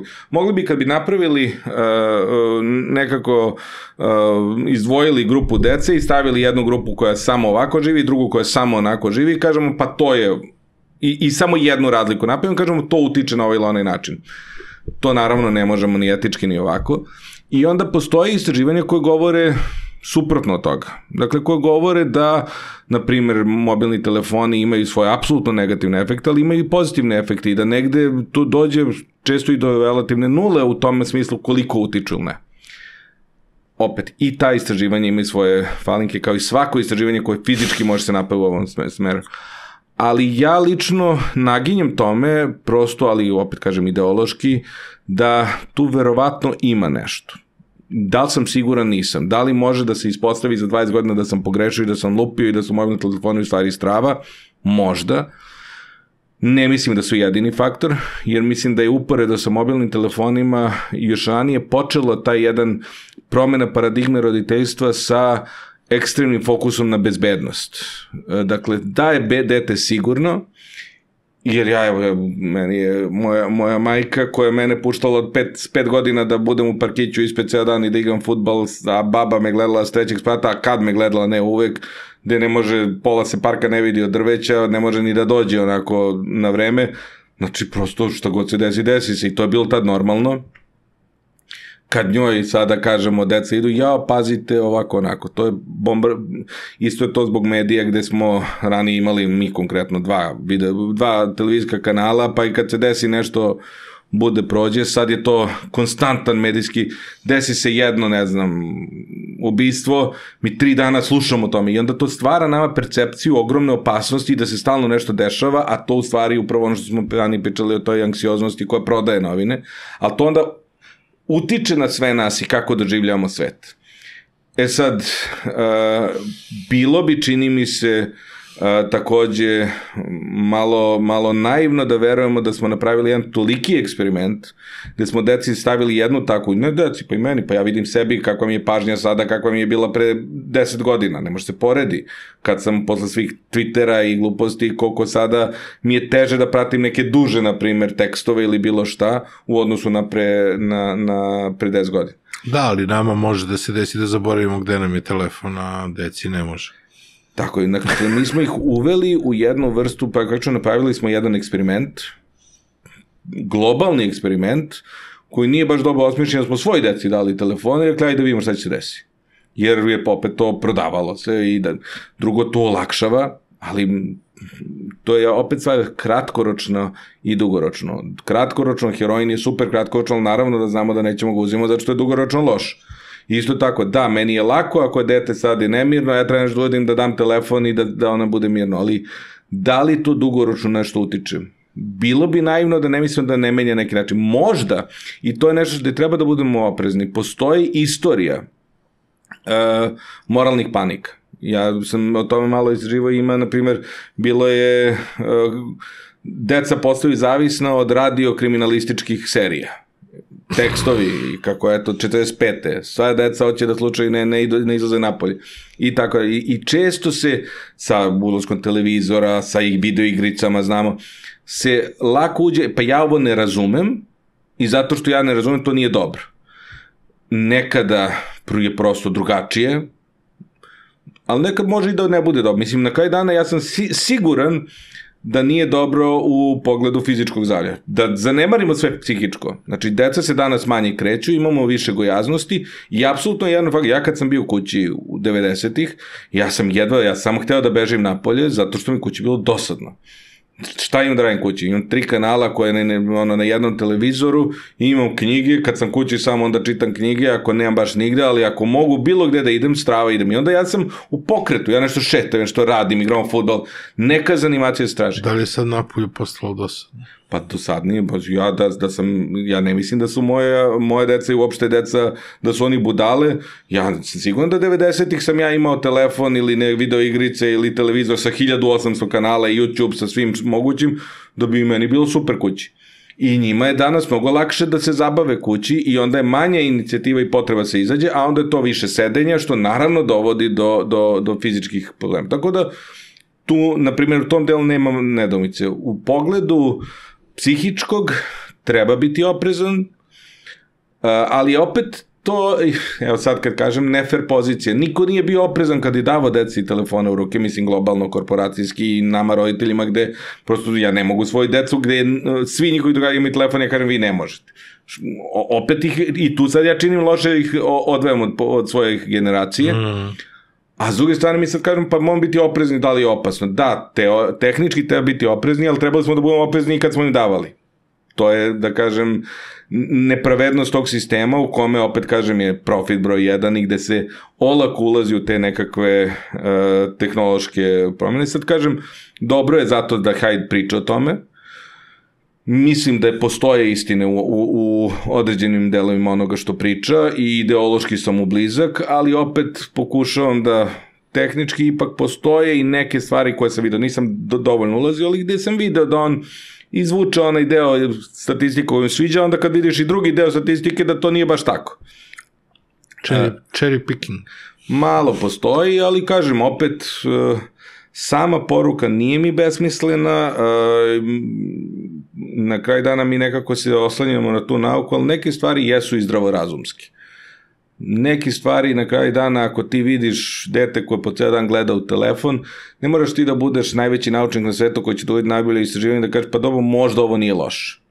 U tim nekim, da kažem, ekstremnim slučajima. Da li telefoni uopšte nisu dobri, da li postoje faktori u kojima su i dobri, to je već nešto drugo. Ali na kraju dana ne mora da bude dobro ni loše, kao što smo za neke već stvari ovde rekli. Neke stvari postoji time što su drugačije, trebamo da obratimo posebnu pažnju. Jer, na primjer, eto, meni je, uh, nedavno sam video kako deca mogu sada da šalju anonimne poruke vređ, i onda se vređaju tako, ali koje svi vide, ponižavanje među sobom, što kaže, mi to nismo imali mogućnost. Ti nisi mogao da dođeš i da ono u lice kažeš nekome da on ne zna ko si ti. Nisi mogao da pošalješ poruku uh, da cijela škola vidi o tvom nekom najgorem situaciji poniženja. I ja ne znam, meni to ne deluje dobro. Kad su počeli forumi, bilo je važnije da ti imaš ime i prezime i da nisi anoniman na forumu i da kad nešto kažeš ti stojiš iza toga imenom i prezimenom i to se uvek više cenilo od onih, ono, neko iz mase. Nedavno je, je i, i moj brat ušao u nekakve, e, na Twitteru neku raspravu, ja mu rekao, ti si svojim imenom i prezimenom tu, a ti imaš gomilu tu, ono, JK 1, 2, 3, ko ti napiše, može najgoru gadost da ti napiše. I sutra će da napiše JK 5, 6, 7, 8. Da. Napravi novi nalog. Da.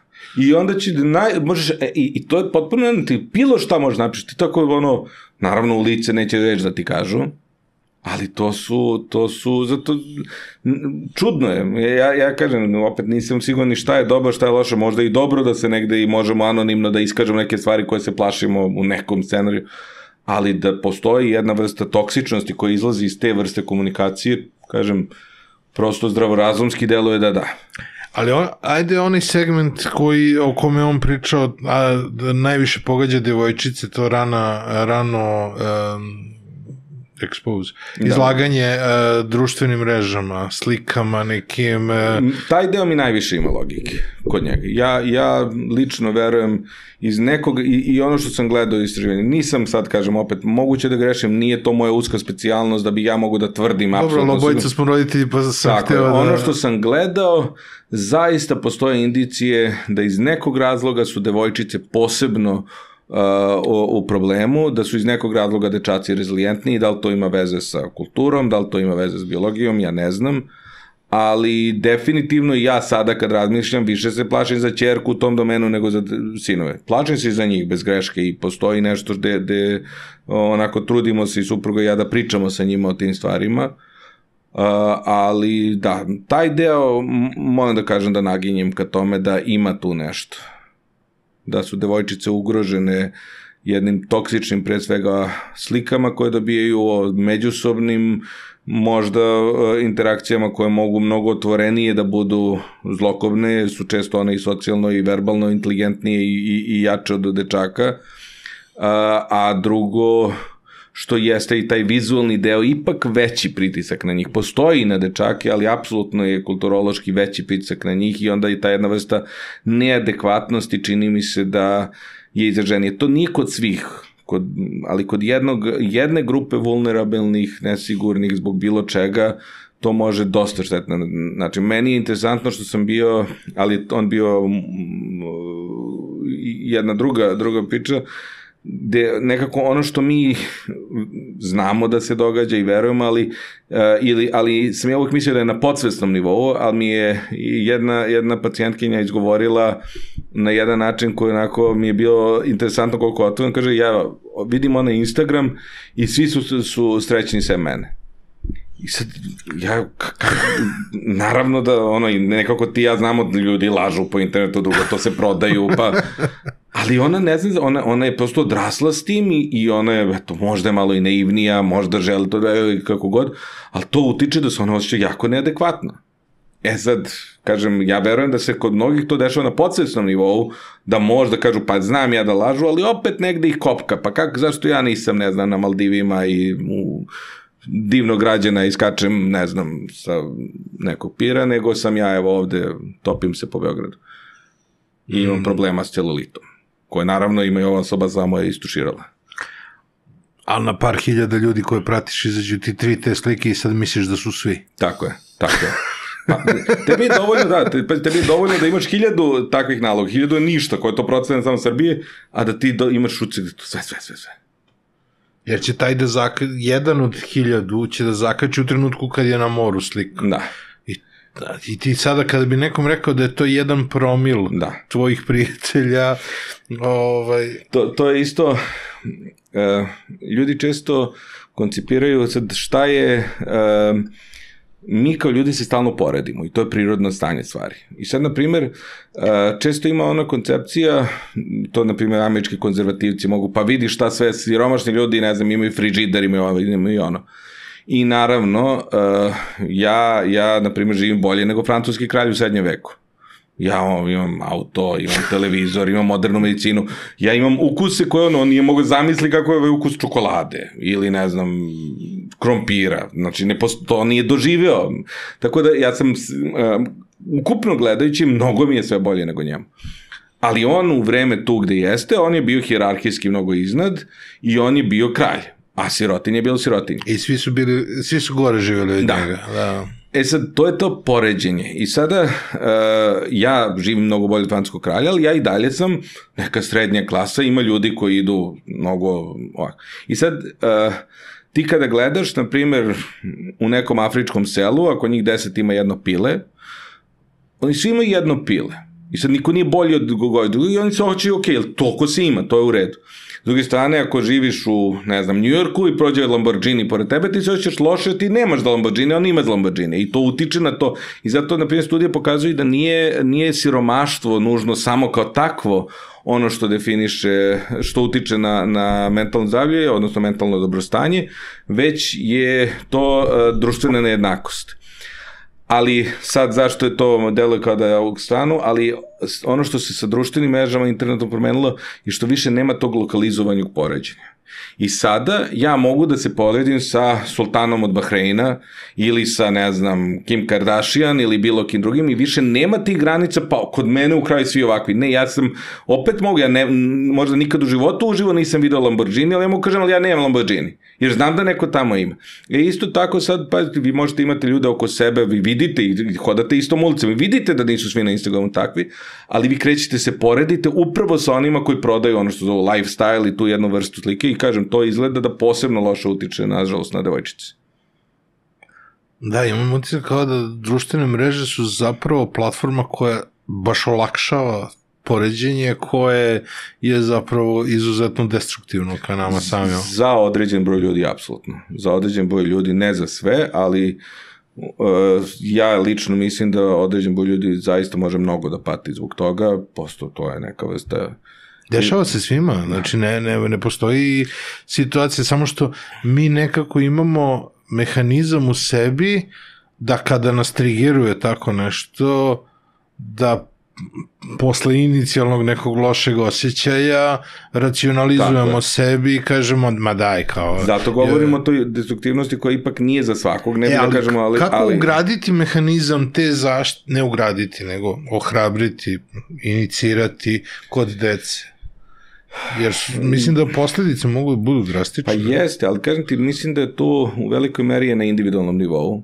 jer 80% dece ili 50% ili koliko god, nemam sad brojku, će ipak to moći što ti kažeš ti da, da nacionalizuje, da ipak vidi, ok, pa da, ali nisu sve žene manekenke, ja ne znam ni jednu koja izgleda kao na Instagramu u svom životu. a to počinje isto sa tim telefonom. Ko ima, i svi imaju. Koliko ih ima, ima ih troje. Da, Znaš, koliko vas ima u razredu 28? da, tako je. ali, tako ali imaju svi. Tako Znaš, je. kao, to je zato što... E, i to je deo problema, ali e, s te strane ja nisam, postoje prosto čini mi se i neke urođene ili naučene e, od, iz porodice ili ovog ili onoga razlozi da neko bude posebno vulnerabilan. To, je, to teorijski može da bude i dobro kad se mi poredimo, ono, hoću da budem bolji, to da nas vuče ka nekom unapređenju, kad je nešto na što možemo da utičemo, ali opet evolucija vjerojatno to ne namesti tako da mi kao, e, ovo ne mogu da učem, baš me biga, ne, nego ta, ta potreba za poboljšanjem da je prosto uvek i svuda prisutna.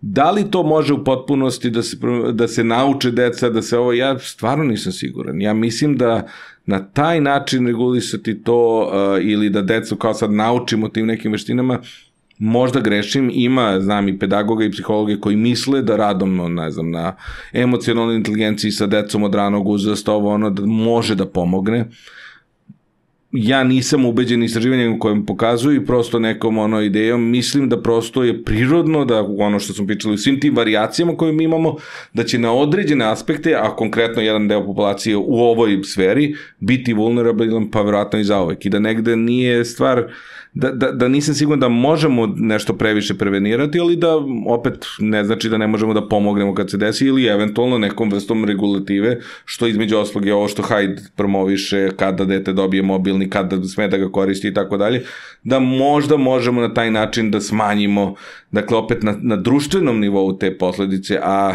da ne individualizujemo problem opet dete, da ga mi naučimo da ono ga ne muči to što nema pločice, nego a, a on neko drugi ima.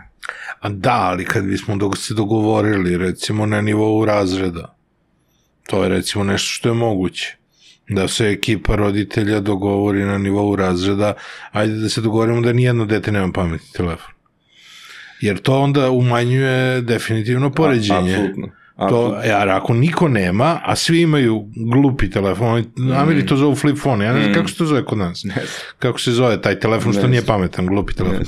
Ovaj, Znaš, da se dogovorimo na nivou razreda, svi imaju telefon koji nije To bi pametan bilo idealno, čak telefon. mislim da je bilo i nekih pokušaja, na primjer i kod nas, mislim. Mislim da ima, o- ovo je jedno od ovih pravila, ovo kao da se telefoni odlažu negde, da se ne, ne nose Da. na, na časove, to manje više neke škole Da, to- to- to mogu mi je da- minimum, to to, mi je- to je minimum To mi je minimuma, baš da. šokantno, sama ideja da kao dete ima na telefonu telefon mi je, i znam da je bilo i na, nas, ne znam, u Americi nazvala, bi nam pisala nastavnica, kaže, on mnogo gleda telefon na času. I rekao, zašto mu dozvoljavaš, uzmi mu, bacimo ga kroz pozu, ne, mada naravno i sad ne smeju. to je još jedna stvar koja me u Americi iznenadila, to što imaju onaj, uh, do you have your permission to touch you? Da li imam vašu dozvolu da vas dodirnem? Oni moraju svako dete da pitaju da li smeju da ga dodirnu. Opet malo digresi. I onda je bilo neki, smo imali događaj multikulturalni gde kao svako predstavlja svoj zemlji, sad mi smo imali neki pano i neku hranu sa našom, sa Srbijom. I tu deca idu, gledaju, dolazi neki mali, mali čini mi se da je, da je iz Kine, ovaj, mislim baš Kine, zato što je sa, sa stola gde, gde se predstavlja Kina došao. I on nešto kojem priča i onako s pola mozga krenem da ga pomazim, on se trgne kao da, da sam ga udarim. Ali ne to, nego moj sin stari kaže, ne tata, šta to radiš? Kaže, proglasit za pedofila ovde. I rekao, što za ono dete ide, ja kao da ga pomazim. Ovde to ne sme, oni moraju te pitaju da li sme i da te pipnu ovde, njih, to je potpuno drugačije nego kod nas je.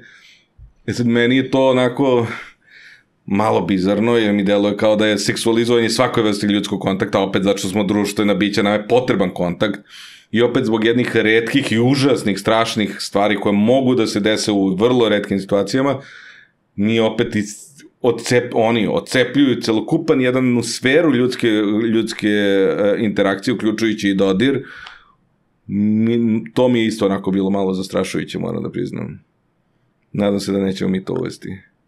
A plašim se, znaš, ono, teoretičari će otići u pravcu, ono, teoretičari zavere će otići u pravcu da sve to tendencijozno, a sa druge strane, meni je fascinantno bilo sada je Simon Sinek gostovao u nekom podcastu i bila je varijanta kao znaš, u nekim okruženjima je mnogo okej da se muškarci zagrle.